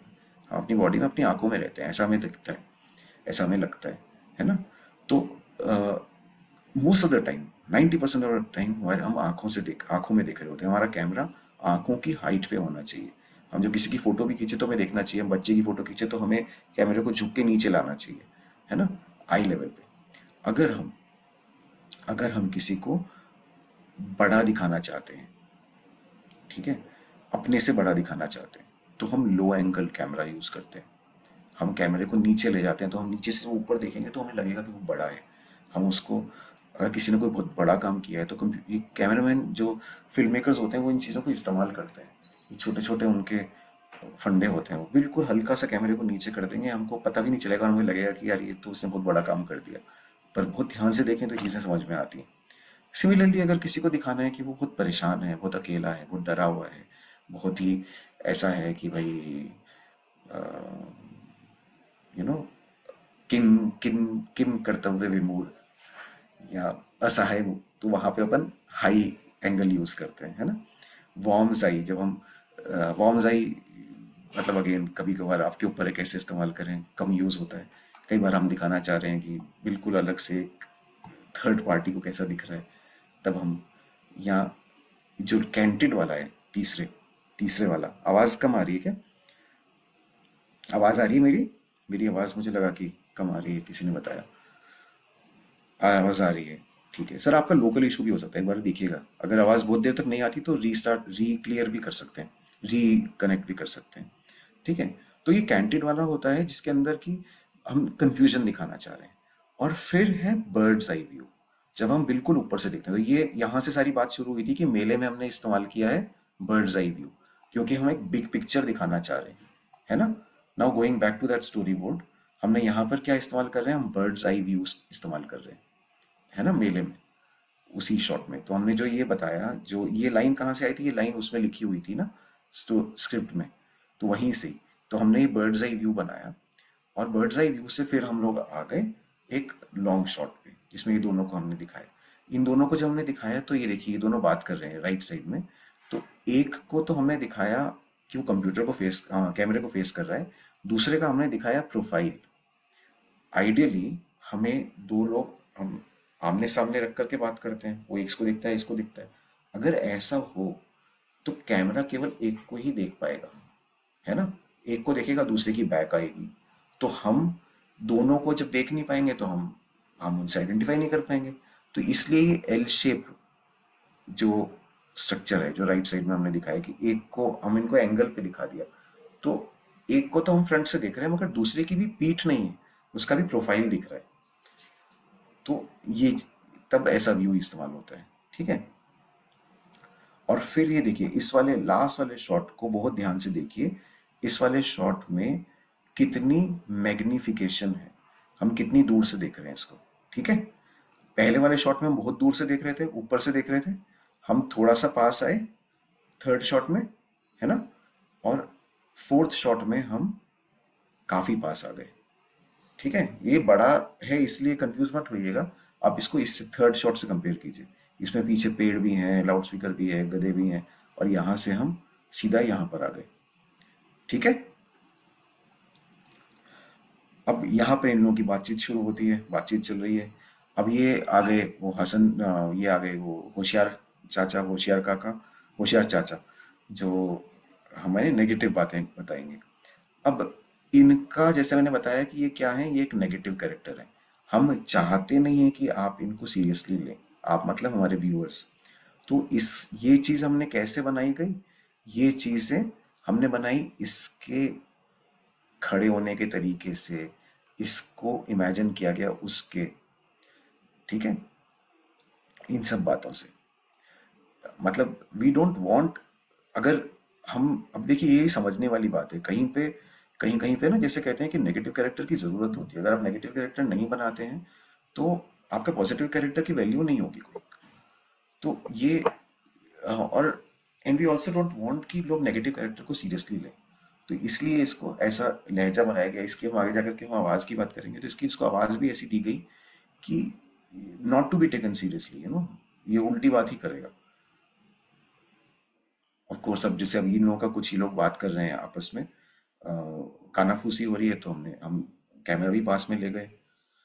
ये सब एक एक डायलॉग के लिए हमें या तो स्केच करना चाहिए या हमें कम से कम लिख देना चाहिए कि हम क्या चाहते हैं। और कुछ नहीं तो केवल दो बॉक्सेस बना करके अगर हम मैच स्टिक फिगर से भी बना दें तो हमारा आगे का रास्ता आसान हो जाता है। ठीक है? ये सब करते करते एंड देन फाइनली जो है राइट right साइड में ये जो हमारा पॉजिटिव कैरेक्टर है, ये आता है। तो पॉजिटिव कैरेक्टर को बनाया गया कि ये ही is very you know well build और स्मार्ट और ये जो बात कर रहा है एंड येट वेरी हम्बल तो ये सब चीज़ें हमने पहले लिखी हैं, इनके कैरेक्टर स्केच हमने लिखे हैं, तब इसको बना पाए हैं ऐसा। अगर हम स्क्रिप्ट लिखनी सीधा शुरू कर देंगे, आगे जा करके हो सकता है हम फंस जाएँ। ठीक है? अब आइए बात करते हैं कि ये जब हमने बनाया तो देखिएगा कि मैं ना अभी थोड़ा सा ऑडियो प्ले करूँगा, जो हमने स्क्रिप्ट थी, उसके ऊपर अब आप थोड़ा सा ध्यान से सुनिएगा और अपनी तरफ़ से मैं कोशिश कर रहा हूँ कि वॉल्यूम वगैरह फुल बढ़ा लूँ और आप भी कोशिश कीजिएगा कि आवाज़ आप तक पहुँच जाए। अगर नहीं पहुँचती तो भी कोई दिक्कत नहीं है, कुछ मिस नहीं होगा, क्योंकि पीपीटी तो आपको मिल ही जाएगा, आप डाउनलोड कर लीजिएगा, ठीक है? तो यहाँ पे हम बात कर रहे हैं कि देखिए, अभी इनकी बातचीत है, उसको जब इनिशियली रिकॉर्ड किया गया तो उसमें एक स्क्रैच रिकॉर्डिंग की गई मतलब एक रफ रिकॉर्डिंग की गई, जो रिकॉर्डिंग आर्टिस्ट ने नहीं की थी। ठीक है? तो वो कुछ ऐसी थी। देखिए।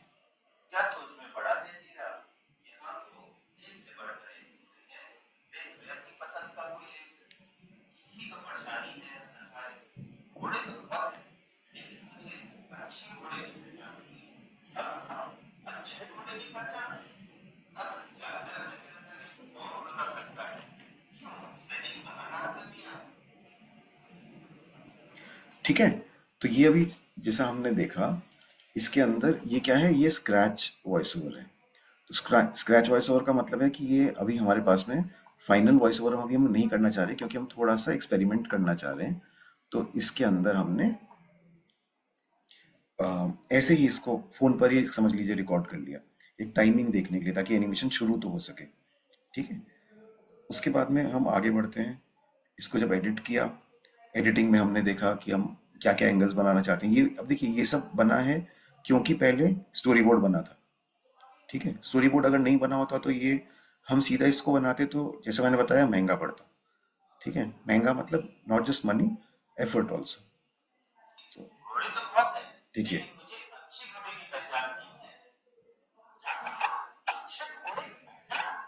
अभी देखिए, ये जो आवाज़ अगर आप जिन लोगों तक पहुँची वो इसका अप्रिशिएट कर पाएँगे, नहीं तो बाद में सुनिएगा। ये कैरेक्टर की आवाज़, इसको नेगेटिव दिया गया, इसको ऐसा दिया गया कि ये सीरियसली ना लिया जाए। तो उसको मज़ाक वाला, इसका खड़े होने का लहजा भी, इसकी आवाज़ भी, इसका और जो बातें बोलेगा, उसका कंटेंट भी, सब कुछ ऐसा होगा कि ये फनी दिखे। तो देखिए।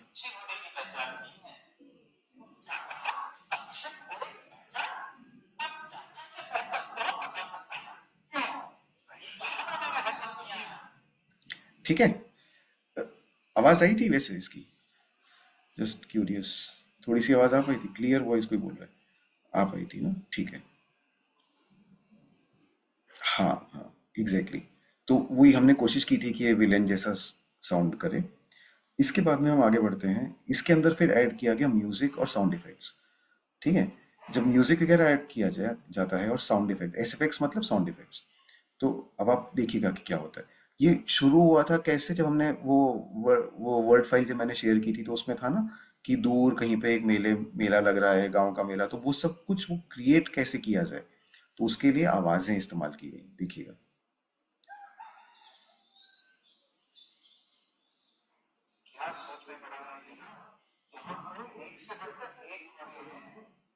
कोई अपनी पसंद का? यही तो परेशानी है भाई। घोड़े तो बहुत घोड़े की पहचान नहीं है। क्या कहा? अच्छे घोड़े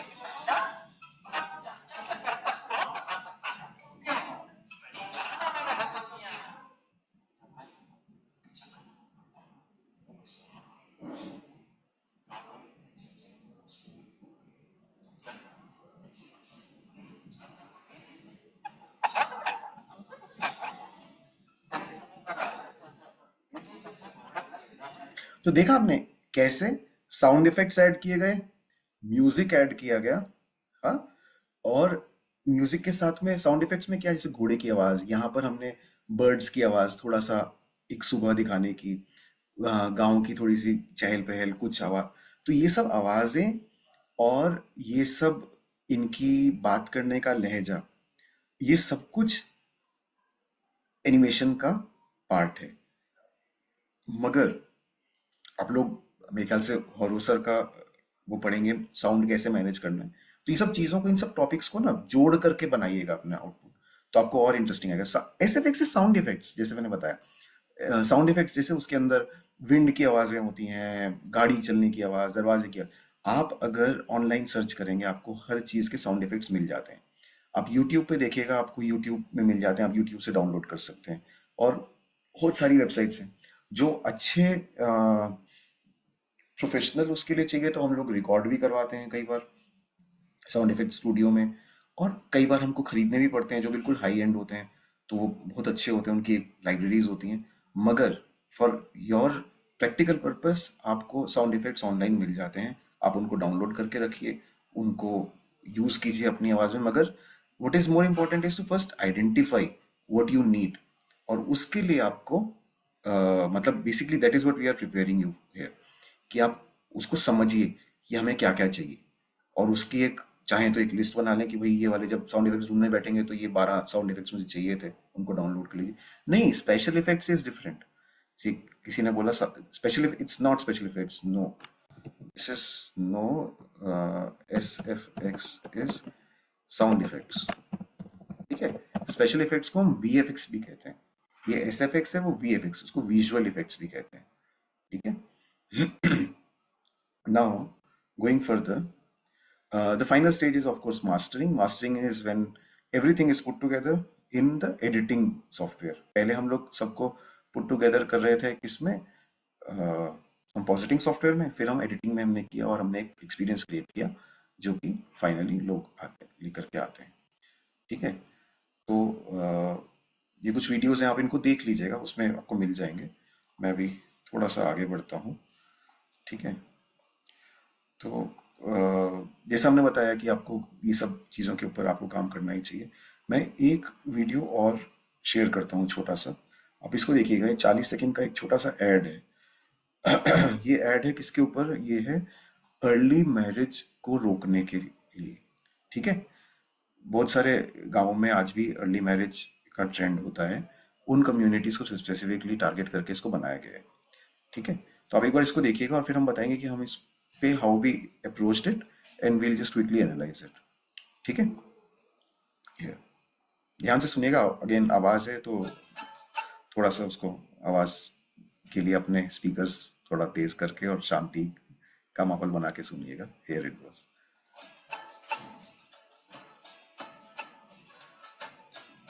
हाँ, उसकी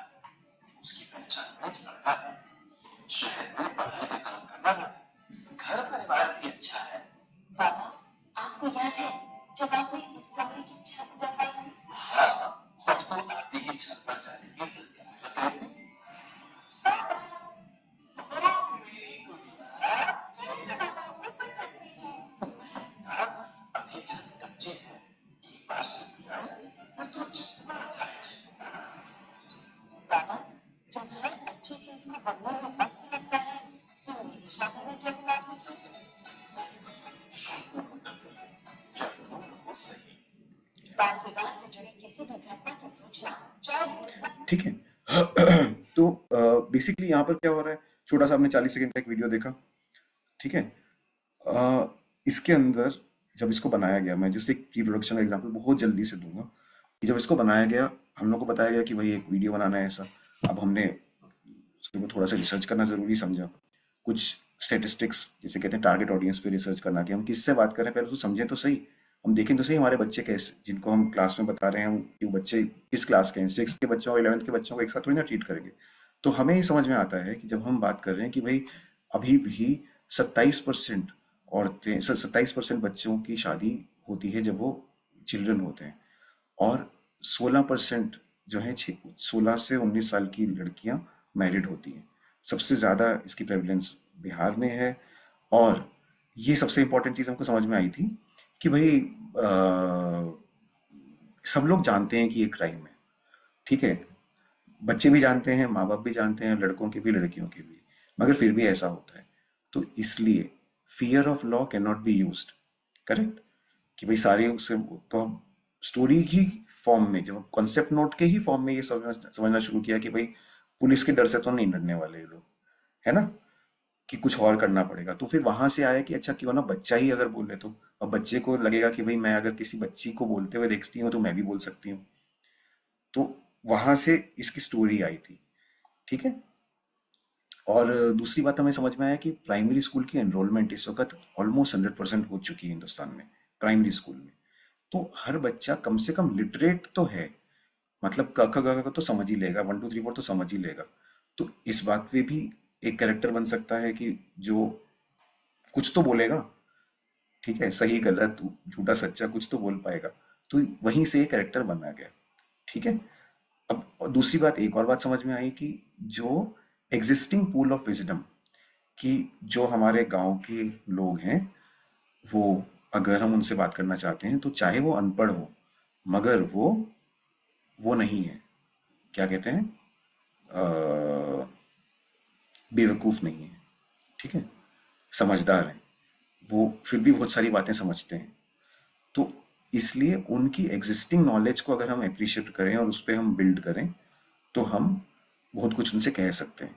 सो so, ये सब बातों से इसकी स्टोरी बनी। ठीक है जो अभी आपने देखी छोटी सी। मतलब वो इफ़ेक्टिव तभी बनेगा ना अगर आप उसको समझेंगे। मैं आपको प्री प्रोडक्शन का एग्ज़ाम्पल देना चाह रहा हूँ। फिर नेक्स्ट स्टेप इज़ इसका स्टोरी बोर्ड बनाया गया। ये स्टोरी बोर्ड है उसका। पहले उसकी स्क्रिप्ट लिखी गई। स्क्रिप्ट के हिसाब से फिर एक एक लाइन के ऊपर स्टोरी बोर्ड बनाया गया। कि अब देखिए स्टोरी बोर्ड में डिटेल इंपॉर्टेंट नहीं है। इसके अंदर ये इंपॉर्टेंट नहीं है कि किसी की आ, किसी का फेस दिख रहा है डिटेल में दिख रहा है कि नहीं। पर लेआउट इंपॉर्टेंट है। डिटेल से ज़्यादा इंपॉर्टेंट है कि हम क्लियर हों। क्लैरिटी मतलब in terms of conceptual clarity important है। डिटेल फाइन उसकी फाइन लाइंस इंपॉर्टेंट नहीं इस चीज़ को समझिएगा। ठीक है? ये देखिए ये इसका स्टोरी बोर्ड है सारा का सारा। जो भी आपने देखा उसका। ठीक है? बच्ची उसको देख रही है सुन रही है उनका कहाँ पे उन, उनका वो कैसे आ, मतलब उनका लेआउटिंग कैसे होगी कौन आगे होगा कौन पीछे होगा ये सब चीज़ें कम से कम हमें तो क्लियर हो। ऐसा नहीं कि हम जाकर के बैठ जाएँ और हम बोलें कि यार कुछ ना कुछ तो बन ही जाएगा। कभी नहीं बनेगा मैं आपको गारंटी दे रहा हूँ। आप लगे रहेंगे आपके महीने दो साल भी लगे रहेंगे तो भी हो पाएगा। वो कंप्लीट तब होगा जब आप क्लियर हैं क्लैरिटी इंपॉर्टेंट है। कंफ्यूजन से ना काम नहीं हो पाएगा। इसलिए शांति से कमरे में बैठ करके ये चीज़ मुझे आपको लोग, लोगों को लग रहा होगा सर सॉफ्टवेयर तो कुछ सिखा नहीं रहे, क्या कहानियाँ सुना जा रहे हो? पर नहीं, ये चीज़ें बहुत ज़्यादा इंपॉर्टेंट है। ट्रस्ट मी ये चीज़ें आपको काम आएँगी। सॉफ्टवेयर आपको, आप जो सीखेंगे, वो तीन महीने के अंदर अंदर आउटडेटेड हो जाएगा। तीन महीने नहीं तो छः महीने में वो आपके साथ नहीं रहेगा। ये चीज़ आपके साथ रहेगी। ठीक है? इसलिए इसके ऊपर हम लोग ज़्यादा ध्यान दे रहे हैं। And now is about two D animation quickly now if you can just talk about three D animation pipeline अभी तक आप डाउट्स आप लोग पूछ ही रहे हैं। कुछ भी अगर होगा तो मुझे पूछिएगा, मैं ज़रूर बताऊँगा। ठीक है? Now three D animation pipeline आप देखिए, इसमें और टू डी में क्या फ़र्क है?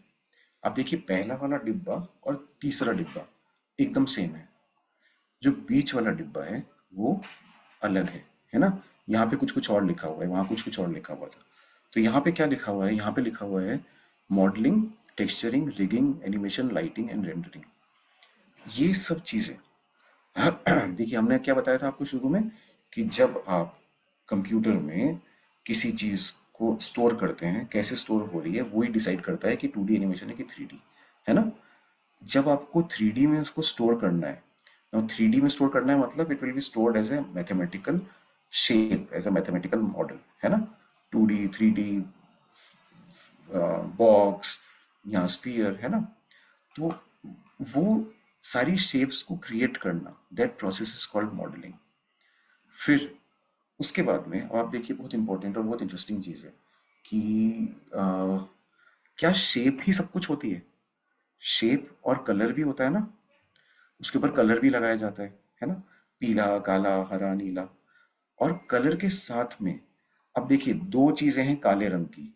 अब देखिए, मेरे पास में ये दो चीज़ें काले रंग की हैं। मेरी शक्ल देखिएगा। ये मेरा फ़ोन है, ये भी काले रंग का है और ये प्लास्टिक की चीज़ें, ये भी काले रंग की। ठीक है ना? क्या दोनों का बिहेवियर लाइट के साथ सेम है? देखिए, फ़ोन में कुछ रिफ्लेक्शन जैसा दिख रहा है और इसमें नहीं दिख रहा है है ना? रिफ्लेक्शन इसमें भी है, मगर इसमें थोड़ा अलग किस्म का है। क्लैरिटी देखिए रिफ्लेक्शन की, है ना? मुझे दोनों काली दिख रही है। अब ये इंफॉर्मेशन हम कंप्यूटर को देंगे, तभी तो कंप्यूटर बना पाएगा। ये सारा पार्ट होता है टेक्सचरिंग का। सो टेक्सचरिंग कंसिस्ट ऑफ़ कि कैसे हम उसमें क्या रंग दें, हम उसमें कैसा उसके सरफेस को बनाएँ कि वो स्मूथ हो या रगेड हो या रफ हो। और तीसरी चीज़ है कि वो लाइट से कैसे इंटरेक्ट करें? ठीक है? लाइट हमारी चारों तरफ़ होती है। ये अपने आप में बहुत बड़ा टॉपिक है तो मैं बहुत ज़्यादा डिटेल में नहीं, बहुत क्विकली बताऊँगा। लाइट हमारी तरफ़ चारों तरफ़ होती है। लाइट केवल वो नहीं होती जो कि रोशनी बल्ब से निकलती है या किसी ट्यूबलाइट से निकलती है। हम किसी भी चीज़ को देख पाते हैं क्योंकि उससे लाइट आ रही होती है। हम दीवार को देखते हैं क्योंकि दीवार से लाइट आ रही है। कहीं से रिफ्लेक्ट होकर के आ रही है। अलमारी हमें पीले रंग की दिख रही है तो उस पर लाइट गई। अलमारी ने सारी हर रोशनी की लाइट अब्जॉर्ब कर ली और पीले रंग की हमको वापस भेज दी, है ना? तो ये सारी चीज़ें, अलमारी का बिहेवियर कि वो कितनी लाइट को एब्जॉर्व करेगी, कितनी छोड़ेगी और जो रिफ्लेक्ट करेगी, उसको किस तरीके से रिफ्लेक्ट करेगी? एकदम सीधी सीधी रिफ्लेक्ट करेगी तो हमें बिल्कुल मिरर जैसी रिफ्लेक्शन दिखेगी, जैसी ये फ़ोन में दिखती है है ना? बिल्कुल मिरर जैसी दिख रही है। और अगर वो अगर वो स्कैटर होकर के करेगी तो हमें एक जनरली रंग तो मिलेगा उसके सामने वाली चीज़ का, मगर उतनी क्लियर इमेज नहीं मिलेगी। तो वो स्कैटर हो रही है कि नहीं हो रही? ये सारी चीज़ें लाइटिंग की, ये सारी चीज़ें कंप्यूटर को बतानी पड़ती हैं and there are lots of different variables ठीक है? वो सारे हम हर एक सरफेस अपने कंप्यूटर की हर एक सरफेस के बारे में बताते हैं। ठीक है? This process is called texturing ये कॉम्प्लिकेटेड होता है, अपने आप में एक स्पेशलाइज्ड प्रोफेशन होता है। टेक्सचरिंग आर्टिस्ट या मॉडलिंग आर्टिस्ट ये सब एक प्रोफेशन होते हैं। आप you are not expected to learn everything it takes a lifetime to learn them but you need to understand their capabilities so that when you are making आप जब किसी प्रोजेक्ट को कर रहे हो तो आपको समझ में आए कि आप एक्सपेक्टेशन सेट कर पाए कि आप उनको बता सकें और मुझे ऐसा कुछ बना करके दो। आप ये तो वो करके दे देंगे आपको। ठीक है? मगर उसकी एक्सपेक्टेशन उसकी कैपेबिलिटीज को समझना आपके लिए ज़रूरी है, ठीक है? फिर रिगिंग नो रिगिंग में क्या होता है? जब आपने एक मॉडल बना दिया, ठीक है? अब आपने उस मॉडल को मूव करना है। अब आपने एक लड़का बना दिया, वो चलेगा, ठीक है? तो अगर हम देखें तो बहुत आसान है, वो इसकी टांगे हिलेंगी और उसको हम आगे बढ़ाएँगे। मगर क्या वो टांगे कहीं से भी हिल सकती हैं? अब ये मेरा बाजू है और ये हिलेगा तो कोहनी से ही हिलेगा ना। बाजू के बीच में एल्बो के बीच में से तो नहीं हिलेगा। तो कंप्यूटर को ये बताना कि हमारा मॉडल कहाँ से हिल सकता है और कहाँ से नहीं हिल सकता that process is called rigging it is something similar कि हमने एक मॉडल बनाते हैं, उसके बाद में उसके अंदर एक स्केल्टन फिट करते हैं। ठीक है? हम उसके अंदर बहुत सारे कंस्ट्रेंट्स डालते हैं कि ये इतने डिग्री तक हिल सकता है। ये बाजू मतलब एक ही डायरेक्शन में हिलती है ना, पीछे थोड़ी ना हिल जाएगी। पीछे हिल जाएगी तो आप डर के भाग जाएँगे, बोलेंगे, भूत आ गया। ठीक है? तो घुटना केवल एक ही डायरेक्शन में हिलता है। गर्दन कितनी हिलेगी, कहाँ पे हिलेगी? तो एक एक चीज़ को कंप्यूटर को बताना, ये होता है रिगिंग ये सारे के सारे for every model so every for every model we create a model we texture it we do rigging ये सब करने के बाद में then we do animation now animation के यहाँ पे दो मतलब हो जाते हैं कि एक तो everything that we are doing is animation second is animation specifically we are adding motion हम उसमें मूवमेंट ऐड कर रहे हैं. So that is also that is the more specific meaning of animation so we animate each of those models so each of those models are asked उनको हम move करके दिखाते हैं. हम कई बार उसकी इक्वेशंस बना करके कंप्यूटर में डाल देते हैं कि ये इसकी चाल ऐसी ही होती है. अब अगर यू you नो know, हमारी जो चाल होती है हर किसी की अलग होती है तो वो कैरेक्टर के हिसाब से होती है। तो उस तरीके से इनको एनिमेट किया जाता है। फिर आता है लाइटिंग लाइटिंग के अंदर की कैसी लाइटिंग है भाई? हॉस्पिटल में अलग किस्म की लाइटिंग होगी ग्राउंड में अलग किस्म की होगी, हर जगह की अभी कोई मुझे बता रहे रिगिंग टू में भी ज़रूरी होता है। हाँ होता है, मगर उतना नहीं होता। उतना इंपॉर्टेंट नहीं होता, क्योंकि टू में ना बहुत सारा काम हम लोगों को करना पड़ता है। कंप्यूटर नहीं करता, क्योंकि वो सिंपल होता है। हम कंप्यूटर से करवा सकते हैं, मगर उतना ज़रूरी नहीं होता। पर थ्री में डेफिनेटली हमें पहले रिगिंग करनी पड़ती है।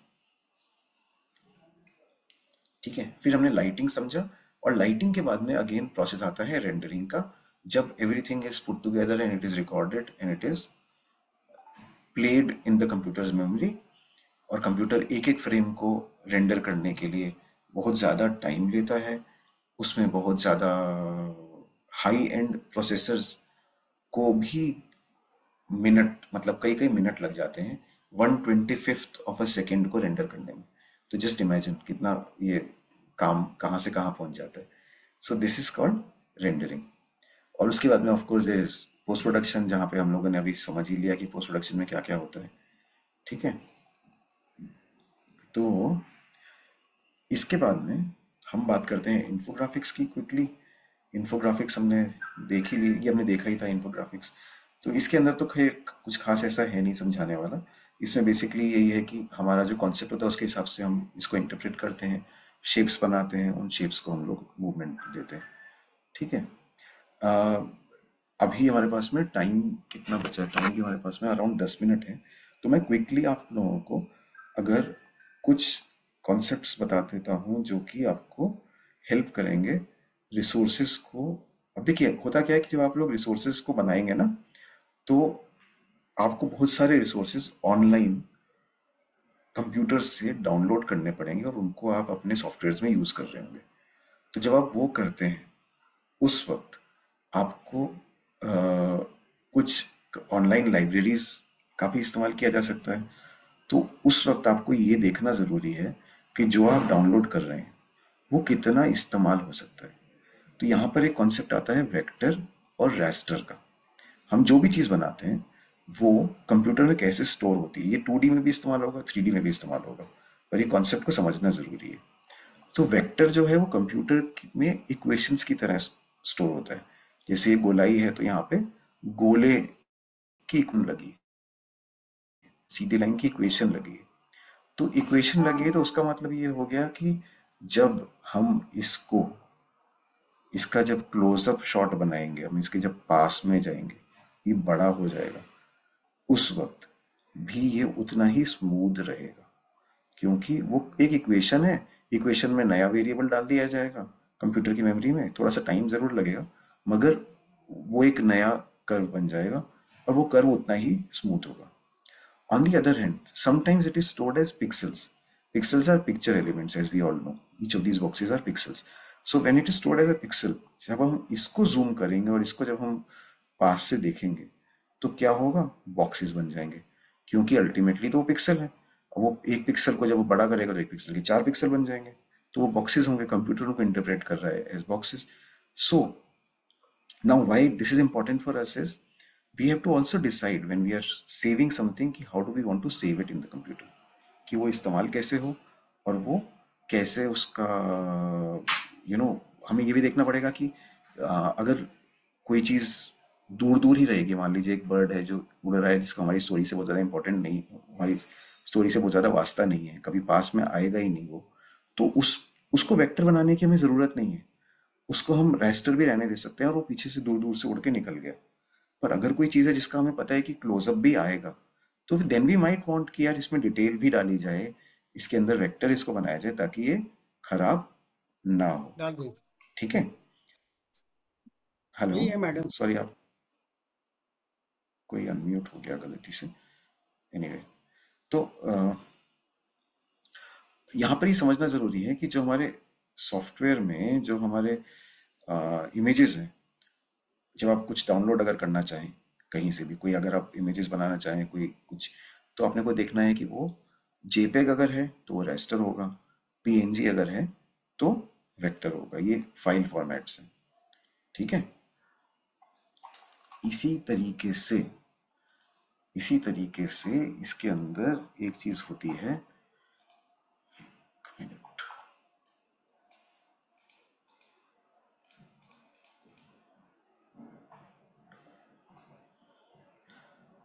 जिसे कहते हैं एल्फा चैनल तो एल्फा चैनल में क्या होता है कि अल्फ़ा चैनल में ये देखना पड़ता है कि कोई भी चीज़ जो है, वो उसके अंदर ट्रांसपेरेंसी है कि नहीं। अगर एक इमेज है तो वो कहीं से, किसी पॉइंट पे ट्रांसपेरेंट तो नहीं हो रही। क्या हम चाहते हैं कि वो ट्रांसपेरेंट हो या नहीं हो? तो अगर ऐसा होता है तो हमें देखना पड़ता है कि वो it should be saved with an alpha channel normally तीन चैनल्स अपन सेव करते हैं किसी भी चीज़ को रेड ग्रीन और ब्लू तो चौथा चैनल होता है alpha channel alpha channel is transparency अब जैसे इनकी ये बच्ची है, बच्ची की टोपी है। Now this is a JPEG. If it is a JPEG, then every pixel in this box will have some color. ठीक है? कंप्यूटर की मेमोरी में।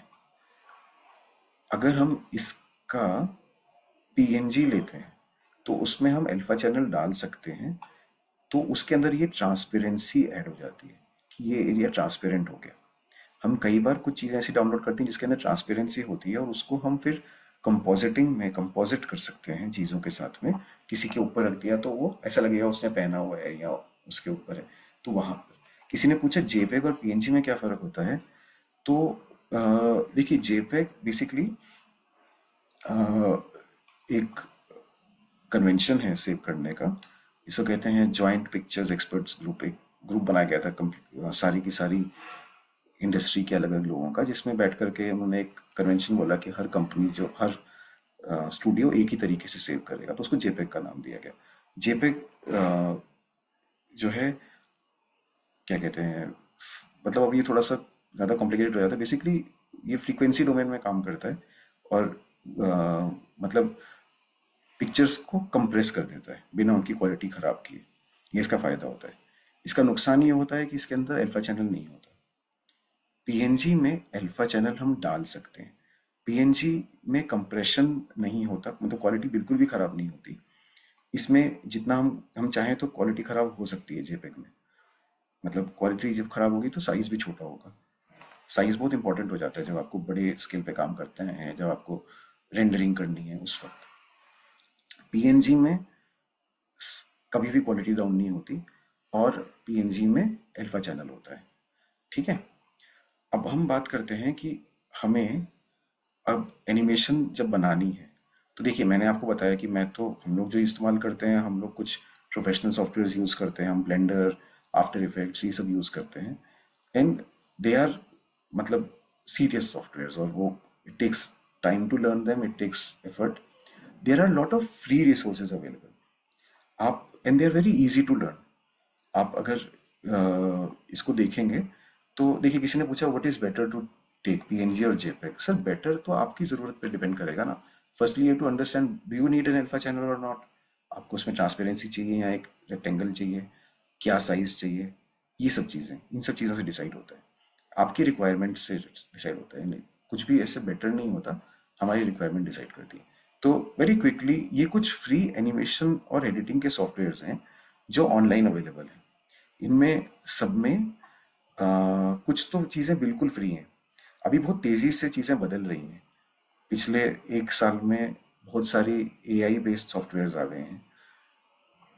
उनमें बहुत सारी चीज़ें they made lot of things possible so जैसे मैंने हमने लाइटिंग की बात की थी, जैसे हमने रिगिंग की बात की थी, वो सारे डिसीजंस जो एक लाइटिंग आर्टिस्ट और जो एक रिगिंग आर्टिस्ट लेता है, वो आर्टिफिशियल इंटेलिजेंस हमारे बिहाफ पे ले सकती है। Which means lot of man hours are saved. But it does that in a very uh, मतलब वो मैकेनिकल तरीके से काम करता है क्योंकि कंप्यूटर है वो। तो वो लार्जर पिक्चर नहीं समझ सकता। तो वो जो समझ सकता है वो हम नहीं समझ सकते अगर कोई फ़ायदे हैं। So these software I would request you to go to Adobe Express इनकी वेबसाइट आपको सब गूगल पे मिल जाएँगे। इन सब पे आप जाइए। इनमें आपको दे आर वेरी ईजी है आपको एक आधा अकाउंट क्रिएट करना पड़े। और शुरू में हो सकते हैं थोड़ा सा मुश्किल लगे but trust me if you start walking बहुत जल्दी आप सीख जाएँगे। मतलब with the understanding that I try to give you तो एंड जैसे डाविंसी रिसॉल्व जो है तीसरे नंबर पे, ये this is a completely free professional software there are real movies Hollywood movies also being made on DaVinci Resolve the only thing is साथ में एक हार्डवेयर आता है हार्डवेयर से कंपनी उस, उससे पैसे ले लेती है। सॉफ्टवेयर उन्होंने पूरी तरह से फ्री किया हुआ है।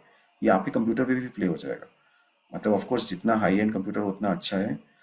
तो high end GPU of course exactly high GPU frequency चाहिए उसके लिए। बट ये जो है this is very easy to use and थोड़ा सा बस आपको टाइम लगाना पड़ेगा इसके ऊपर। ब्लेंडर आपको मेरे ख्याल से सिखाया भी जाएगा यहाँ पर।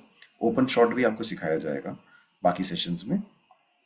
तो इन दोनों से तो आप अभी और इससे परिचित हो जाएँगे। And trust me all of them there is not much difference they are all alike सभी में मतलब ले दे करके वही तीन चार चीज़ें होती हैं। जब आप एक को सीख जाएँगे तो आप सबको सीख जाएँगे। ठीक है? मगर एफर्ट थोड़ा सा लीजिएगा। जब आप कुछ बनाना चाहते हैं, आपको बहुत सारी चीज़ें ऑनलाइन डाउनलोड करनी पड़ती हैं। ठीक है? उन चीज़ों, क्योंकि आप नहीं चाहते कि हमेशा हर चीज़ में स्क्रैच से बनाओ you know it's like saying कि अब अगर अगर टाटाज को एक गाड़ी बनानी है, ठीक है, उनको नैनो बनानी है so they don't start with making कि हम पहले टायर बनाएँ। तो उनको ना टायर तो सी के खरीद लिए जाएँगे, है ना? इंजन हम होंडा का ले लेंगे ये ये फलानी चीज़ यहाँ से ले लेंगे। तो ये वही है। तो हमें हर एक चीज़ बनानी नहीं पड़ती। जो जितने स्केचेस थे, जितने पीछे कैरेक्टर्स थे, वो सब कुछ आपको स्क्रैच से बनाने की ज़रूरत नहीं है। आप उसका कॉन्सेप्ट ज़रूर बनाइए कि आपको क्या चाहिए, वो आप ज़रूर एक एफर्ट लीजिए। उसके बाद में आपको बहुत सारी चीज़ें ऑनलाइन मिल जाएँगी। और वो सारी चीज़ों के लिए ये वेबसाइट्स हैं, इनको आप नोट कीजिए। इनको आप इन पे जाइए। फ्री पिक पे बहुत सारे रिसोर्सेज हैं, लाखों रिसोर्सेज हैं लिटरली और अगर आप थोड़े से आपके उसमें बजट होता है, थोड़ा सा अगर आप उसका एक अकाउंट ले लेते हैं तो वो लाखों से बढ़ करके करोड़ हो जाते हैं। ठीक है? लाख नहीं तो दस हज़ार तो होंगे रिसोर्सेज ठीक है? तो आप उन पे जाइए, उनको डाउनलोड कीजिए और उनसे जो है आपको काफ़ी चीज़ें आसान हो जाएँगी। ठीक है? इसके बाद में अगर हमारे उसमें टाइम तो ख़त्म हो चुका है और मैंने थोड़ा सा एआई के बारे में रखा था बट अगर जो है ऑलरेडी वो कवर हो चुका है तो फिर I think we can if you have any questions we can take the questions also और if you want we can take little bit about that also जैसा आप लोगों की uh, मर्ज़ी है और जैसा ऑर्गेनाइजर्स आलोक सर जैसा बताएँ तो हम लोग उस तरीके से आगे बढ़ सकते हैं। Which format of image is good? Sir actually AI पे तो कल हाँ जी हो चुका है ना? हाँ मैंने वही सेशन हुआ है एआई पे हमारा। बट अगर पार्टिसिपेंट्स के क्वेश्चंस हैं तो हम कुछ क्वेश्चंस ले सकते हैं। अगर कोई सवाल है इसके बारे में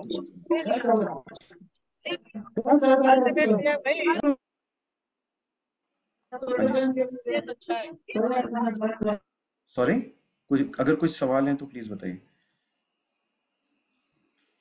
We want hands on practice on two D I understand आपको ना प्रैक्टिस मिलेगी सर आप अभी ये थोड़ा सा इंट्रोडक्टरी सेशन है आगे के सेशंस में आपको एक सॉफ्टवेयर पे बेसिक चीज़ें बताई जाएँगी। आई थिंक नेक्स्ट सेशन ही है। जिसमें आपको बताया जाएगा and you will be also आपको, आपसे करवाया भी जाएगा। तो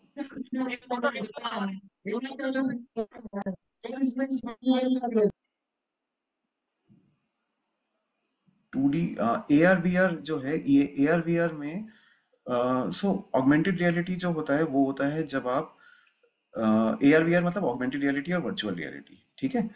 तो ऑगमेंटेड रियलिटी में क्या होता है कि आप जो है uh, क्या कहते हैं जो कम, किसी भी कैमरा की जो इमेज आ रही है उस इमेज पे कंप्यूटर जनरेटेड इमेज को सुपर इम्पोज करते हैं तो उसको ऑगमेंटेड रियलिटी कहते हैं। और ये काम रियल टाइम में हो रहा होता है ठीक है?